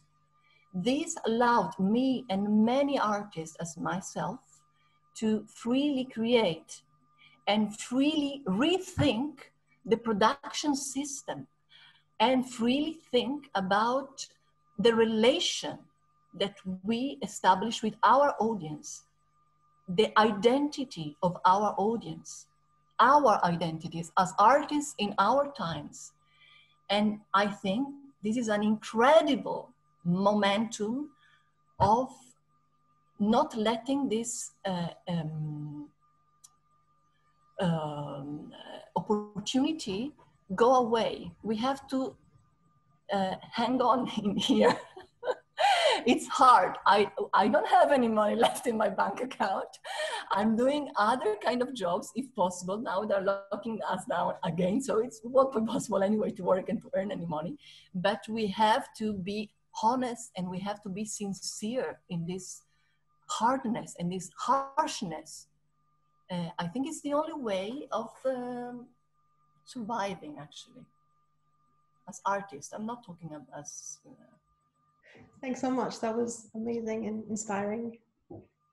Um, yes, thank you so much. Thank you. I'm you. sorry I have to leave. Uh, um, I just want to say that uh, any questions, uh, you, may, maybe you could uh, keep them and I will try to answer if there are, of course. But uh, I would be very glad to keep in touch with all of you. It's very, I'm very glad to, to, to see your face and, and to hear your words. Thank you. Absolutely. So we jump um, to India um, and Dinesh Yadav, who's a director and designer. Um, he's been waiting patiently. Um, hi Dinesh, are you there? Yeah, I think the fun of being the third world country is that you can wait. okay. yeah but i think that that was more on a sarcastic level but anyway um, hi my name is dinesh yadav and i'm a theater director designer these days based in united states uh, so i know that there is overwhelmingly people from united states so i think i divert myself to india but yes i belong to india i came to united states just two year back and uh, my uh, my sense of my theatricality is still back to India. So I will, I think there has been a lot uh, said from the United States point of view. So I will leave that for this moment and I will focus on, on India. Uh, it, it, the, to understand Indian theatrical situation, I think we have to understand what is India is and uh, how this is different from any other uh, European or Eurocentric or American uh, theater practices. Uh, in India, theater is not an industry uh, primarily. Uh, theater is more uh, a lively uh, sort of a part of a culture. It's a part of daily life. Uh, and in India, again, consider that there is no one single language. So there are um, 20 official languages, and there are about uh, more than 200 dialects. Uh, so now Indian states are divided more or less on the base of language. So that means every state has a specific language and very specific culture to those states uh, in India when it comes to culture, when I'm saying culture, that means uh, it goes back to the language, it goes back to the uh, food habits, it goes back to songs, it goes back to theater practices, and so on. So now in India, uh, the Indian theater is kind of, you can group Indian theater in four major categories uh, urban theater, rural theater, traditional theater, and uh, sort of uh, contemporary theater. These are four uh, major categories. Uh, urban theater is more or less modern, quote unquote, uh, theater, and rural theater is more traditional theater. And in traditional theater, then you do have classical theater and you do have, uh, you know, folk tra traditions. So I don't want to give you a lecture on Indian theater, but the idea that we understand from where it comes. So now when a large part of Indian theater is traditional practices, that means people practice those forms just part of their daily life uh, on occasions, on events, or just in the evenings. Uh, sometimes they are also ritualistic. So a part of those performance can be ritualistic and can again be part of just the daily life. Now saying that, that means because a large part of theater is part of the daily culture, government does not consider those as employments or is, is not employed thing. So theater in India, that's why there is no company for theater or there are no such theater houses. There are performing proscenium venues or open air venues, uh, sometimes uh, constructed by government, sometimes constructed by private bodies, but hardly there is any company which has a theater house. So there is no national theater, national opera, national musical. There is nothing that sort of notions. What is there is a unique phenomena, especially in urban setting, which called group theater, which is also in rural theater. Group theater means generally people from all kind of background will come and they will do theater just for their hobby and their fun. So that is a large part of theatrical tradition. Now, traditional artists who has been performing, you know, uh, practicing these forms since like ages, uh, they are primarily supported by their own local communities because they don't perform for a quote unquote consolidated audience rather they perform for communities so let's say there is a jatra performance or there is a yakshagana performance from karnataka or there is a you know bihu performance from assam they will basically perform their community and their community you know kind of contribute that and give it to those artists. So saying that the traditional artists, which were more or less uh, supported by communities, uh, or there is another phenomena which called a Jajman phenomena, which is a very interesting phenomena. Jajman phenomena is that where is a rich person will basically adopt a community of artists.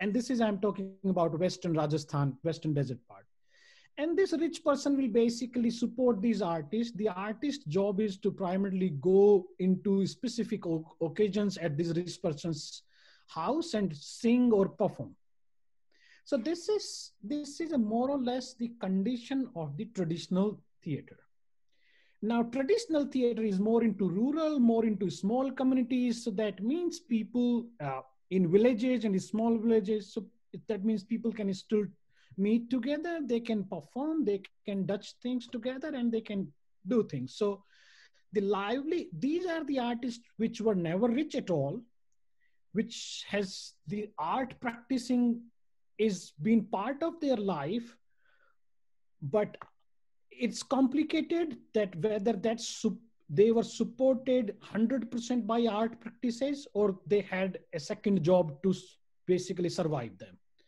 There are communities which been traditionally performing artists which don't do anything else other than performance but they are primarily supported by their communities so there is a very low stake of government there.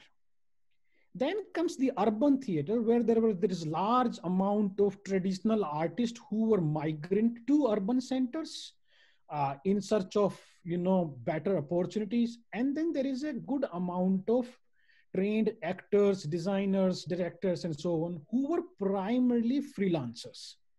So there is nothing as such a body which uh, you know employ artists other than a couple of big schools let's say national school of drama in new delhi which has its own staff or universities. Uh, there are about 20 universities which has theater department. Uh, there are a couple of performing arts centers like national center for performing art in mumbai which is supported by tatas. Uh, so these centers has their own staff which was never like a full staff or never like a running theatrical companies or repertory companies. They don't generally have a repertory company. The repertories companies, which are generally have in urban centers primarily, they are supported by a funding grant called Repertory Grant of Ministry of Culture, which been a very, very, very minimal and primarily going into the pockets of the repertory owners or director due to one or the other algorithm of the corruptions so actors were hardly or performers are hardly getting much out of those grants you know. So again you know into urban center then you do have these uh, quote unquote repertory actors which were again has to do something else in order in order to support them in urban settings. Then we come to the uh, freelance theater practitioners. I think the hardest hit are those guys the freelancers because they are in urban centers so they have to pay their rent. Uh, because they were primarily based on gig work so going here and there maybe sometime doing three work at a time taking little money. Because again theater is not ticket based in india primarily. Is more or less based on again you know donations or advertisement. So freelance directors or designers or actors were again probably doing two to three jobs at a time to support them in urban settings. They are the hardest hit and there is no support structure for them. No government money has so far been allocated for, uh, for performing artists, unfortunately. Uh, there been the there been some support structure in terms of providing uh, food packages and so on, but they are not paying their rents you know. Their government is not supporting them to pay their rents. So what had happened that a large amount of those artists has gone back to their ancestral home or their villages. So now the urban centers are more or less getting empty from artists or these artists are being sifted trying to sift to do something else during this time period. And maybe probably they might have figured out something like uh, uh, sitting into a computer shop and doing a running an internet cafe you know. so that so and that's that's the reality. So this is the overall uh, uh sort of scenario of the art performance in general. Uh, let me go back to my notes. Uh, now in terms of the performing venues, what had happened that Indian government announced a lockdown on 24th of March, and that been extended three times till 31st of May, till they figure out that uh, this pandemic is not going to be in their control and this is kind of overwhelming. Then they leave it like an uncontrolled horse that okay, you can run as as much as you run, and then once you kind of uh, run out of your energy, that's fine. You know, we have 1.5 billion people, so hardly matter, you know, if like 100 million die and something. so that's the problem of being too much of population in a country. That government, it does not matter to government, unfortunately.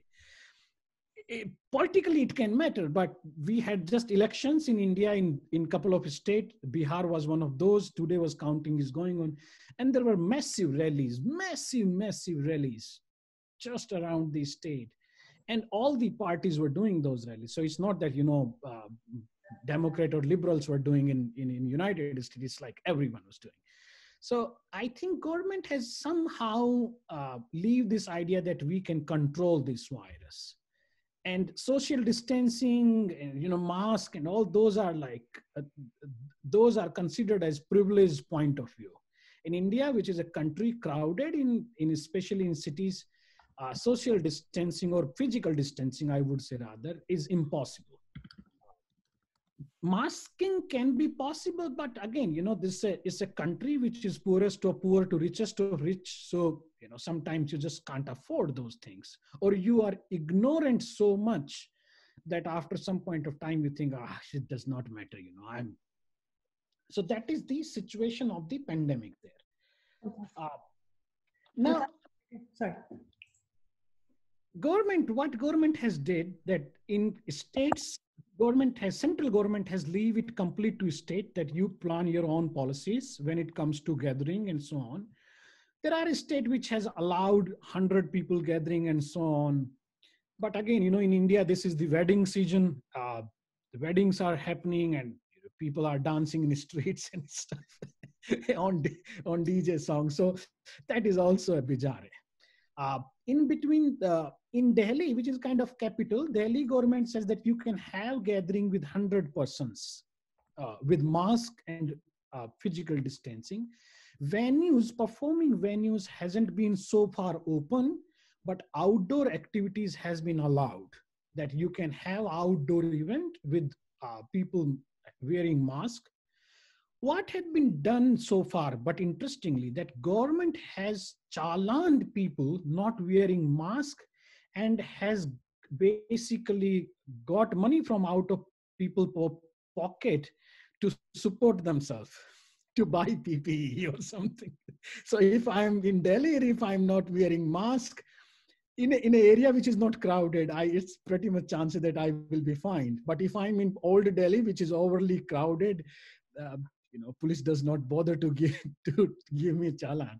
So it's an it's an interesting concept to to give back to people and take out from their pocket uh, just to kind of a chain reaction you know. I will give you then i will take you from that. That's a complex nature of those kind of countries. In india what had happened that because the population there's a larger population of india lives in villages and village were able to basically quarantine themselves. I, I talk about my village where my father lived. There are about thousand people live in a small block of you know houses. They were what they had their own policy that we will not allow outsiders generally uh, to roam around in the village and that you know uh, anyone who is coming from the big cities has to quarantine themselves. So village were able to uh, control the pandemic. And in between what had happened that especially performing artists traditional performing artists were able to basically support themselves especially i'm saying when i say support means basic livelihood. That means uh, food for two times. They were able to support themselves through these mentorship. That you know in village there are a couple of people who has uh, uh, possibilities of supporting with food they will give these traditional artists for the time being. So this is what has been happen. Uh, I would take one more minute to reflect back on this whole idea of we've been coming here and we've been talking about this and that's how you know it's been hit and why the government does not bother i think somewhere theater failed unfortunately into contemporary era uh, especially into 19th, later 19th century and 20th century. And that is because of the West End and Broadway. I think these are two very city organizations, frankly speaking, and you can curse me just because of, I think when we take theater and we say that theater is an industry, we are primarily denying that theater is a essential job. Theater is a medicine we are denying that theater is medicine for the society and it is as much required as the medical support system is required. In United States, there is a 46% of the population who is severely loneliness. Dr. Vivek Murthy, who was the Surgeon General of United States, wrote in his book Together that loneliness is as lethal as smoking 10 cigarettes a day theater being medically proven that is medically the most effective way of treating people with loneliness and depression. What theater persons has failed in terms of advocating that we are medicine to society? Consider that in india there are about 10 million people who consider themselves as an artist or who are traditional artists consider that if they are not artists, what they would have been doing. Anything else. Depressed, deprived, can go to any, do anything, steal things, mm, drugs, anything.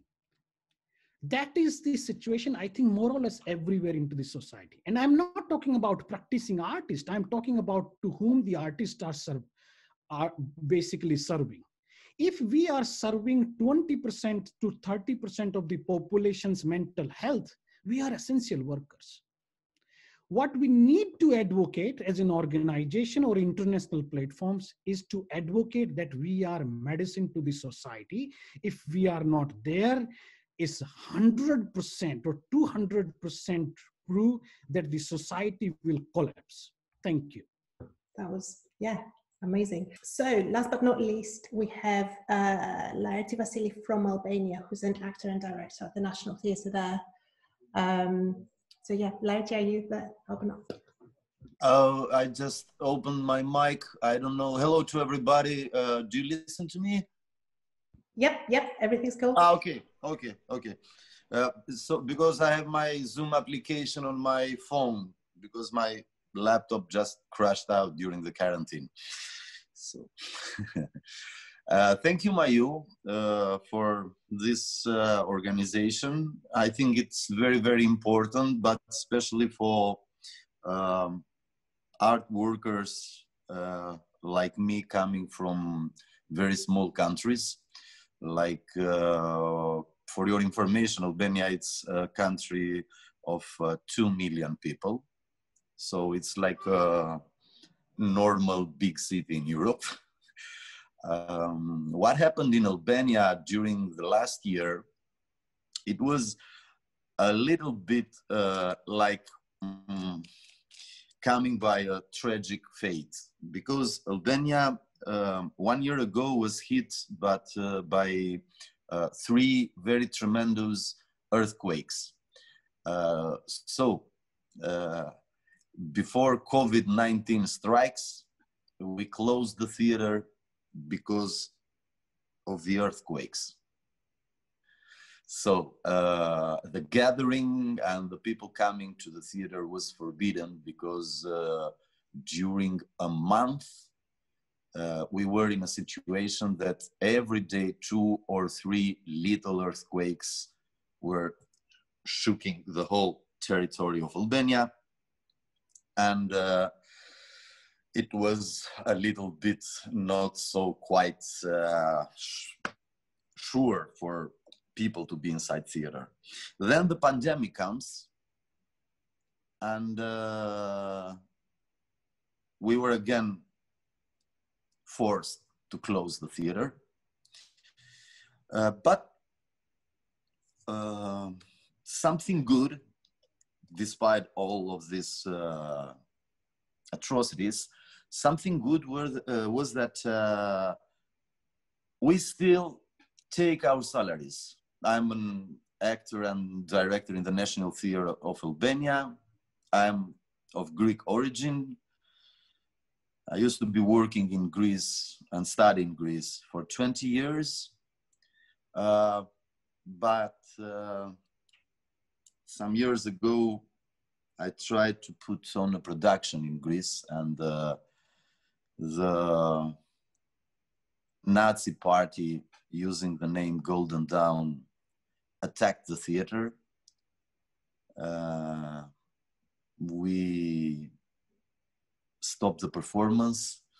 They wanted to burn out the theater and they, they threat all of us and our families with our lives. Uh, so six years ago, I was forced to leave Greece uh, and to come to my country of birth, to Albania. Uh, so my experience of having a theater closed down goes back to 2012. Uh, and uh, of course, uh, all this meeting is about reinventing theater during the COVID times. Uh, uh, but also, like the first speaker uh, that said that our politicians does not have the brain to understand us, the artist, and many times they almost always, uh, they think that uh, doing theater is something to entertain, just to entertain the people. Uh, but there has been periods during the history that people saved human lives. So it's not about joking and laughing. But anyhow, uh, so one good thing that happened in Albania it is that, uh, ah, sorry, I have to explain to you that there are no, uh, there is no such notion as private theater in Albania. Mm, because uh, a private uh, a building and the private production inside that building uh, cannot make it. Mm, I just can stress this out and mention to you that in Albania, you can come and watch a performance in the National Theatre of Albania, uh, paying a ticket of uh, three or four euros. Uh, and that's standard. Uh, but at least uh, for us, the actors of the National Theatre and the other two theaters, the experimental theater, the National Experimental Theater of Albania and the Metropolitan Theater, which is the theater of the city of Tirana, and 10 other theaters that are in the Republic, in the territory of Albania. They are all uh, sustained by state and uh, no actors, uh, no actor was missing his salary during all these times. Uh, a problem that occur in Albania it's uh, with uh, that um, that we called uh, a freelance actor or director. In that, the mayor uh, city hall of Albania of Tirana, after months and months of discussion since the earthquakes of September 2000, 2019, uh, they made a program where uh, the city hall finance uh, freelance production of actors and directors in theater with the half of the cost of production.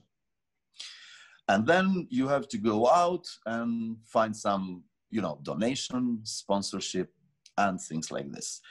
Uh, from that point of view, I think that uh, being a small country uh, helped us with not so much loss during the pandemic times for theater and uh, not so much economical loss uh, because we still uh, are getting our payment uh, and our payment is uh, it's a salary by the state, uh, which in Albania occurs to five to six hundred euros per month.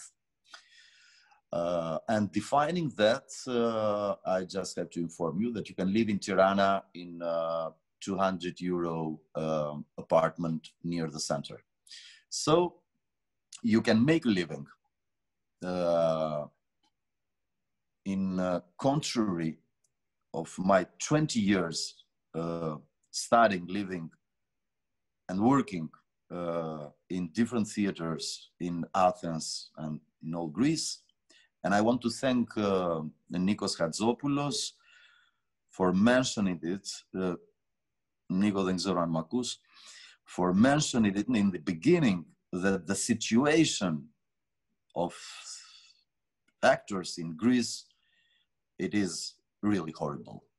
And uh, yes, I'm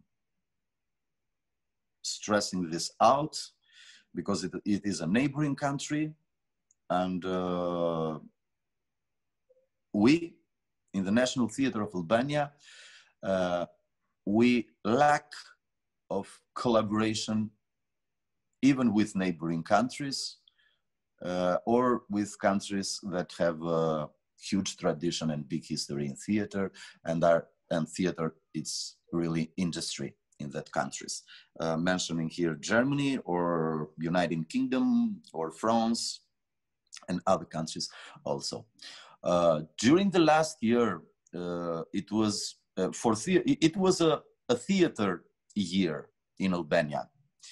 Uh, at least the old uh, building where the National Theatre of Albania uh, has its two stages built by the Italians uh, by the fascist regime of Italian uh, in 1939, which was uh, a building that uh, has lost uh, every um, meaning of its functionality.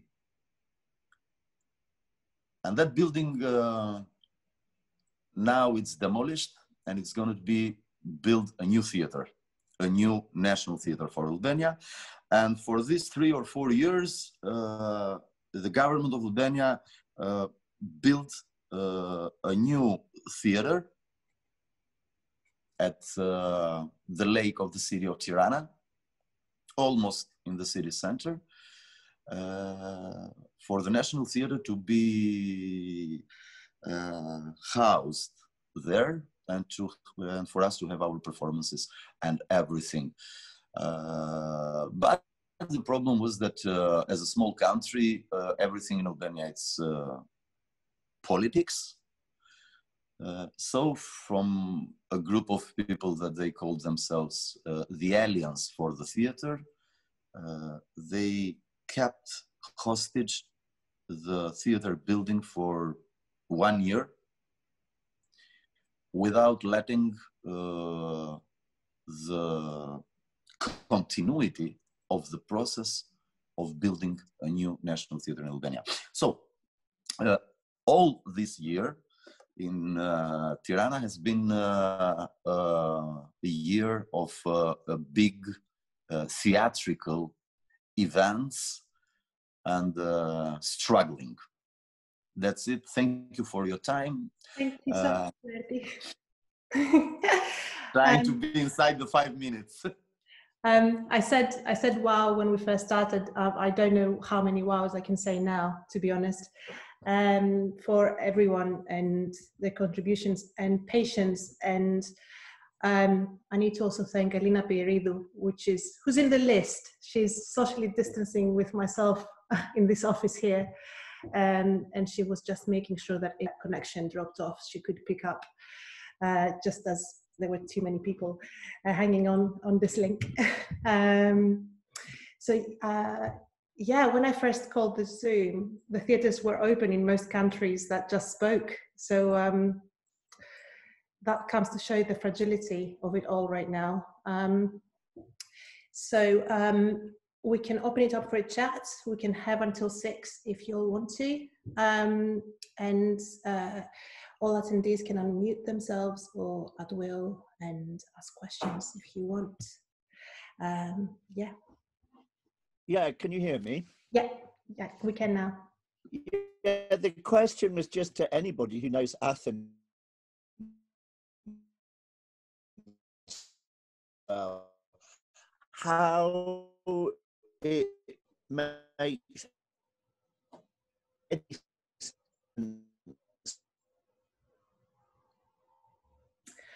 I Bill, I think signal is not very good. So I will just try and read what you've written in the chat for everyone, which is Greek artists or whoever knows about Greece. Trouble How can this does- make sense alongside the Niarchos Opera House and all that money? I'm not sure what your your your question is about. Uh, Niarchos Opera House is a private institution. Uh, it, it doesn't mean that it has to provide for every Greek artist. Uh, what exactly? I'm not sure. What exactly is your your question?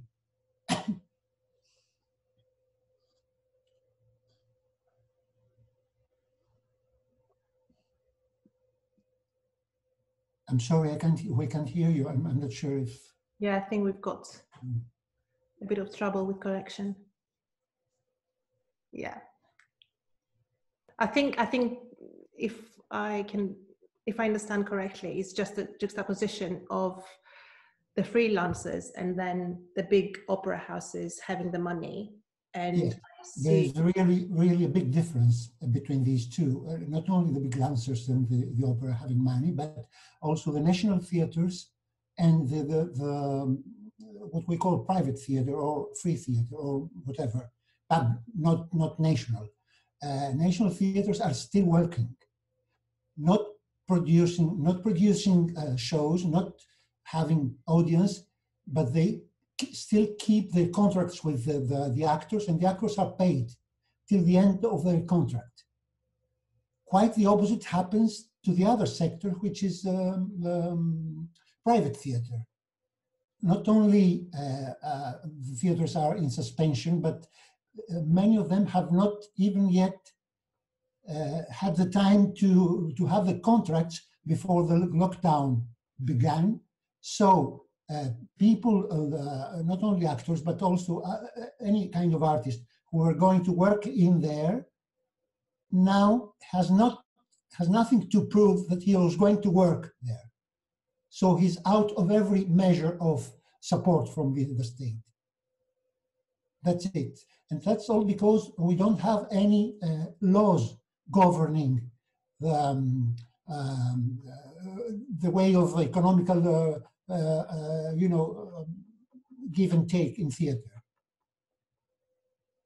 After the after the after the financial crisis, all the all these laws were abolished. It was the only way to get loan from International Monetary Fund and the European Bank.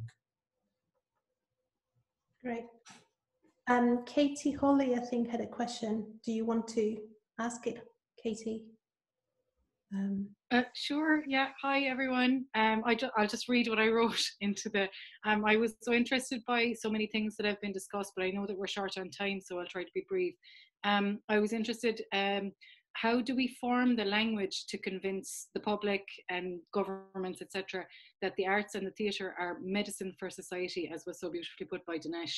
Um, I know that in like where I'm from in Ireland, there was an amazing campaign launched by uh, the National Campaign for the Arts uh, about you know uh, basically little memes that were on social media and in the newspapers saying if, if you read a book that is the arts if you watch a film that is the arts if you see a short little video on youtube that is the arts and so please support the arts and that was that was a really um, great way that we got a momentum going which eventually got the government to give us extra money um, but I'm, I'm really interested by how do we strategize and form the language to convince the public of how important the arts are that was my first question. Will I ask my second question as well? It's a totally different one. um, has anyone experienced resistance from artists or theatres to the use of new media, um, audio, digital, performing outside? I am very open to um, these uh, different ways of working, but I have uh, come up against some resistance from other artists who are just very strongly feeling like, no, we need to keep working live, which is not possible in Ireland at the moment because we're at level five, um, or we need to wait until live performance is possible. And I just think that's a little bit short sighted because we don't know how long we will be in this position. So I'm just interested in your response to that. So, uh, Katie, because I put that uh, notion up here in this form, I can go and give my opinion, but that does not mean that I don't want others to put opinion on about art as medicine.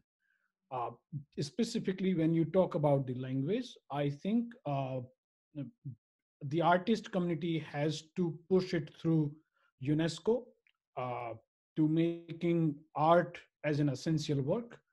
Uh, the definitions can be varied from country to country, region to region, what they consider as an art. But when I say the medicine, that means there is an amount of in-person uh, component there uh, that in a form which involve persons meeting together in a physical space is uh, that is my understanding of of using art as a therapeutic or art as an essential uh, for the society. Uh, although otherwise uh, anything then can be art. This i can say that this when we are meeting here on zoom this can be art because art is a, such a vivid term to define uh, it there has to be some definition around it. What we consider art when we consider art as a therapeutic or uh, as as an essential work. Uh, that that is my understanding of uh, about the second question being using digital media into the form of art or theater i'm sorry uh, i think from the time immortal the theater has been existing in this world the very essential component of theater is where spectator and actions are in the same space. And where these two components together synthesize to bring a common sense of common experience. As soon you take out that common experience away from the air, then for me, theater is gone.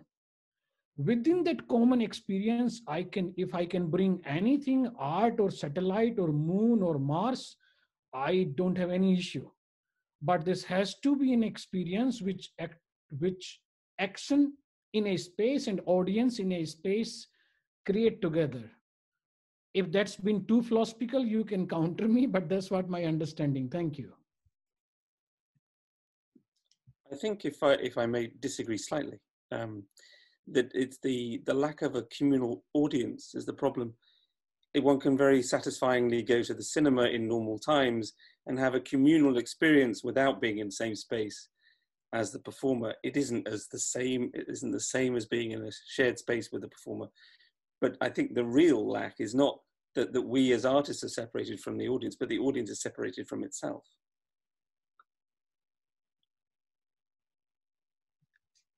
When I say communal experience, it's not individual experience or uh, the, the communal experience is a common experience. I can see Oedipus and perceive it my, with my own cultural context the same Oedipus you can see and you can perceive it with your, your cultural context. But that perceiveness, this emotional outburst which I had, and then meeting with that outburst with yours and yours with another one, but is what it is the, the theatrical experience. That's what I mean by the common experience. It's not that I want to understand Oedipus uh, same performance by everyone with the same intensity and same uh, level of interpretation. I don't think I mean that. The beauty of theater that it gives everyone to imagine their own moon while you are hanging a light uh, just in front of the psyche. I perceive it my own moon coming from India, you perceive it your moon, and maybe someone else perceive. But it's a moon. It's the moonness of the moon, which I mean. Thank you. Uh, I'm sorry, but I would like to um, uh, say something now because uh, Katie, uh, I think um, she asked something about uh, the new media performances uh, via Zoom, internet, so. And um, I'm thinking that in the future we are about to see that we we actors we are going to play on stage and you you are sitting how in your houses in your uh, software, you are going to see it via your computer or your um, uh, television. But I'm I'm thinking about the future now. uh, how it will be for our actors. I, I, I, I'm, I'm starting feeling new, a new way of um, auditions. Uh, so that we are about to make uh, videos now. We have to be very good making videos uh, and um, testing ourselves uh, in uh, some theater auditions also and film auditions also. We are we are front of a new way i don't know it's it's it's it's it's, it's very sometimes we can feel afraid but sometimes this this is also something beautiful okay should i make it? Let's try it. Let's try. Let's let's try find what is cool to make on uh, something like this. But i yeah that it was something about the multimedia and the theater and um, yeah. If i um if i may respond uh, casey um and what's lovely casey is that i hear an irish voice i'm irish and i'm in the uk and I come from a culture in Ireland, so just to give a context of Ireland in training for performance practices, is that before university level, there is no formal education within the education system for drama or theatre within within schools. Um, so I grew up being incredibly curious. Um, I'm Cunningham. I am a proximal uh, physical theatre trained performer, practitioner, director, artist, um, but I'm also a cyber networked online performer, and I'm the one of the founders of a, a thing called 1001 Fires, and uh, which started as a group of people kind of just asking these questions. Um, and I'm saying to the organisers, by the way, we would like to prop you up, uh, which is why I've come um, and share and and share all these activities, which have been amazing. But for me, there's a whole plethora of things. Firstly, like there is uh, there is not a difference, but there is a difference only in the relations. Theatre is live both in networked online cyber performance in addition to proximal performance. What is the problem is that many people are placing the value systems of proximal performance onto the cyber online networks performance practice. Those of us who've been working in cyber network, digital, etc. performance practice for many, many years have seen this real crisis predominantly from embodied practitioners, predominantly from um, proximal uh, performance and practitioners and, and makers and creatives. I don't necessarily think that it is useful to celebrate a tension and a distinction between the proximal and between the online, cyber, etc., and, and to promote a divide. It is, it, I think for me, the recognition that they are different, and I said this to many people have rung me up going, Lynn, Lynn, Lynn, help me to do my performance on, online, help me to do this, help me to do that, tell me how to do this. And one of my answers has been realistically, you are trying to create something. It is like trying to create a musical theatre performance, but judging it as a Noh theatre uh, practice. So you're coming from Noh theatre, I'm coming from musical theatre. There are very different things. There are very different things. But with this stuff, like there are groups, and 1001 Fires is only one, but there are groups and loads of groups of artists who are coming together around the world in this amazing force and going, I'm not going to legitimize myself to the government. I'm not going to legitimize myself by categorizing my work as medicine, by categorizing my work in the value systems of others. I'm an artist. I will stand up and be an artist. I will fight to be an artist. This is my life. This is my right. And what I do within this time is that I, I use the time and the legacy of beautiful other artists who have given me a beautiful legacy and a beautiful training to mean I can build a website, to mean I, I'm a filmmaker, to mean that I'm a scenographer, to mean that I'm an actress. And I gift that back to other artists. And I think if there's anything coming from this moment, it's the acts of kindness, a generosity of a barter system, which is outside modes of production, which is outside a capitalist, capitalist agenda, and which is outside pandering to government and societal pressures. We're bloody artists. And we, all of us in this room, are bloody amazing. And we are activists and we are revolution. We are absolutely revolutionary. And what they're trying to do is to silence us. But we won't be bloody silenced. So every single one of you, go and be radical and go and do what you can do in these times.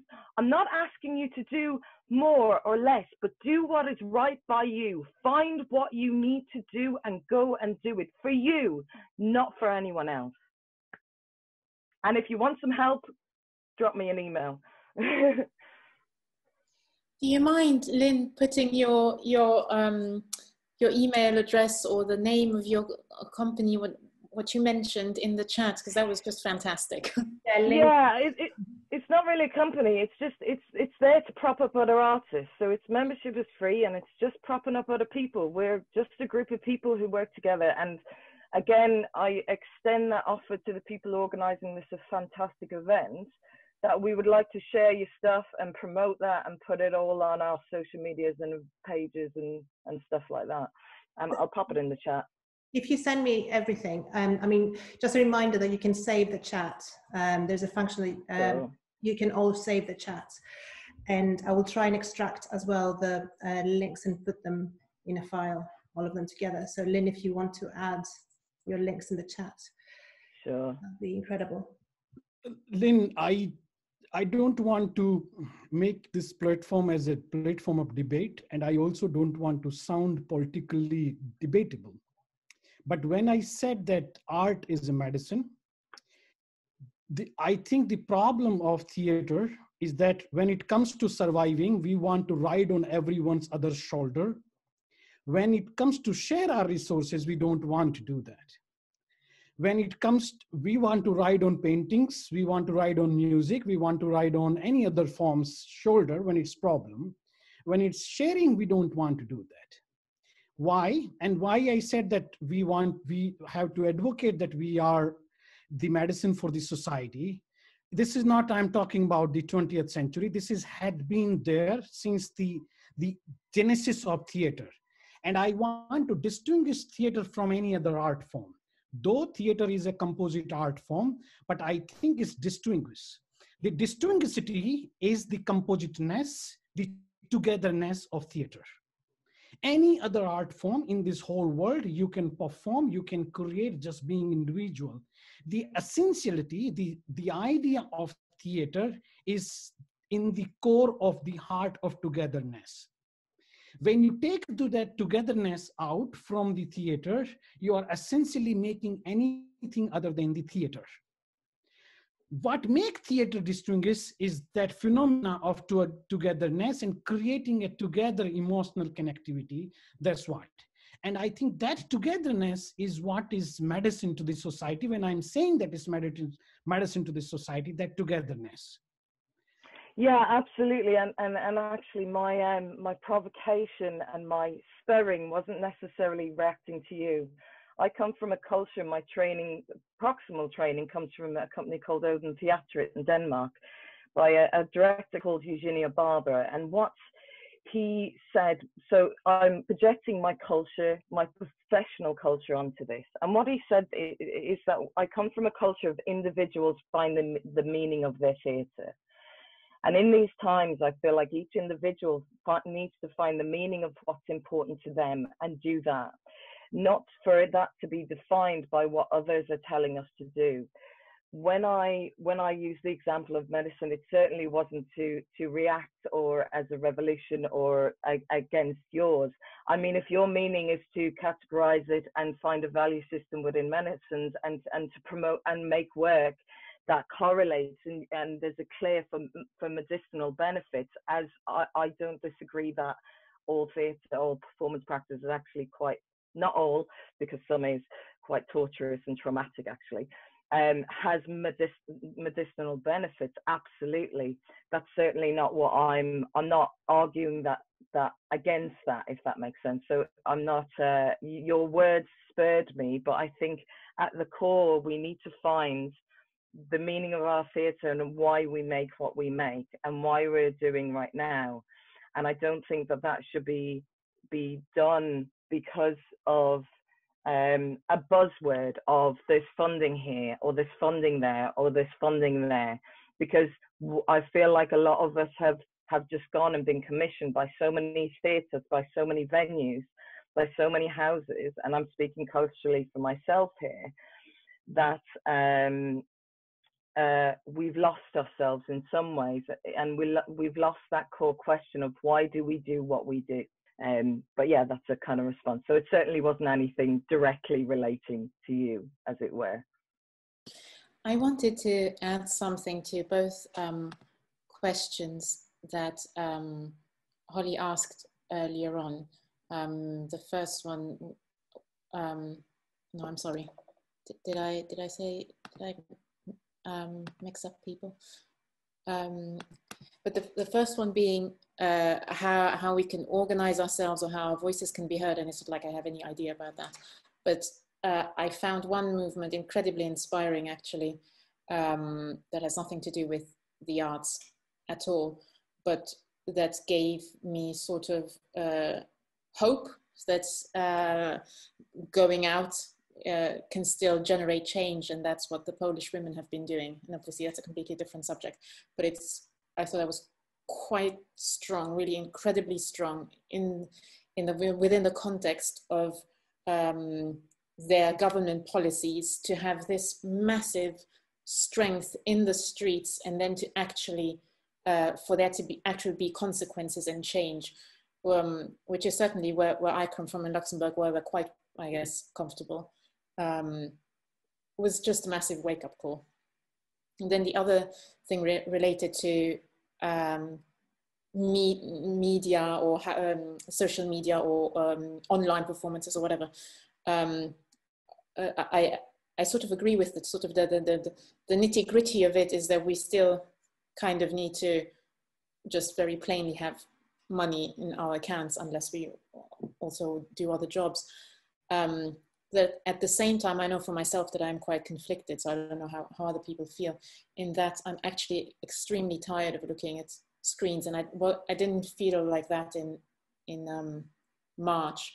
And I think it's also a lack of education on my side in terms of, or maybe a lack of imagination to really grasp the possibilities of it. So I'm actually really, I'm, I'm both really interested in hearing what other people have been doing. And at the same time, I feel real tiredness of sitting here with the same background for so many months and kind of even i'm not even sure i mean i think i'm supposed to look into the thing with the the like the green lights but i kind of look at myself which is very odd. I look at my own picture. Anyway so there all of these new conventions i still struggle a, a lot with.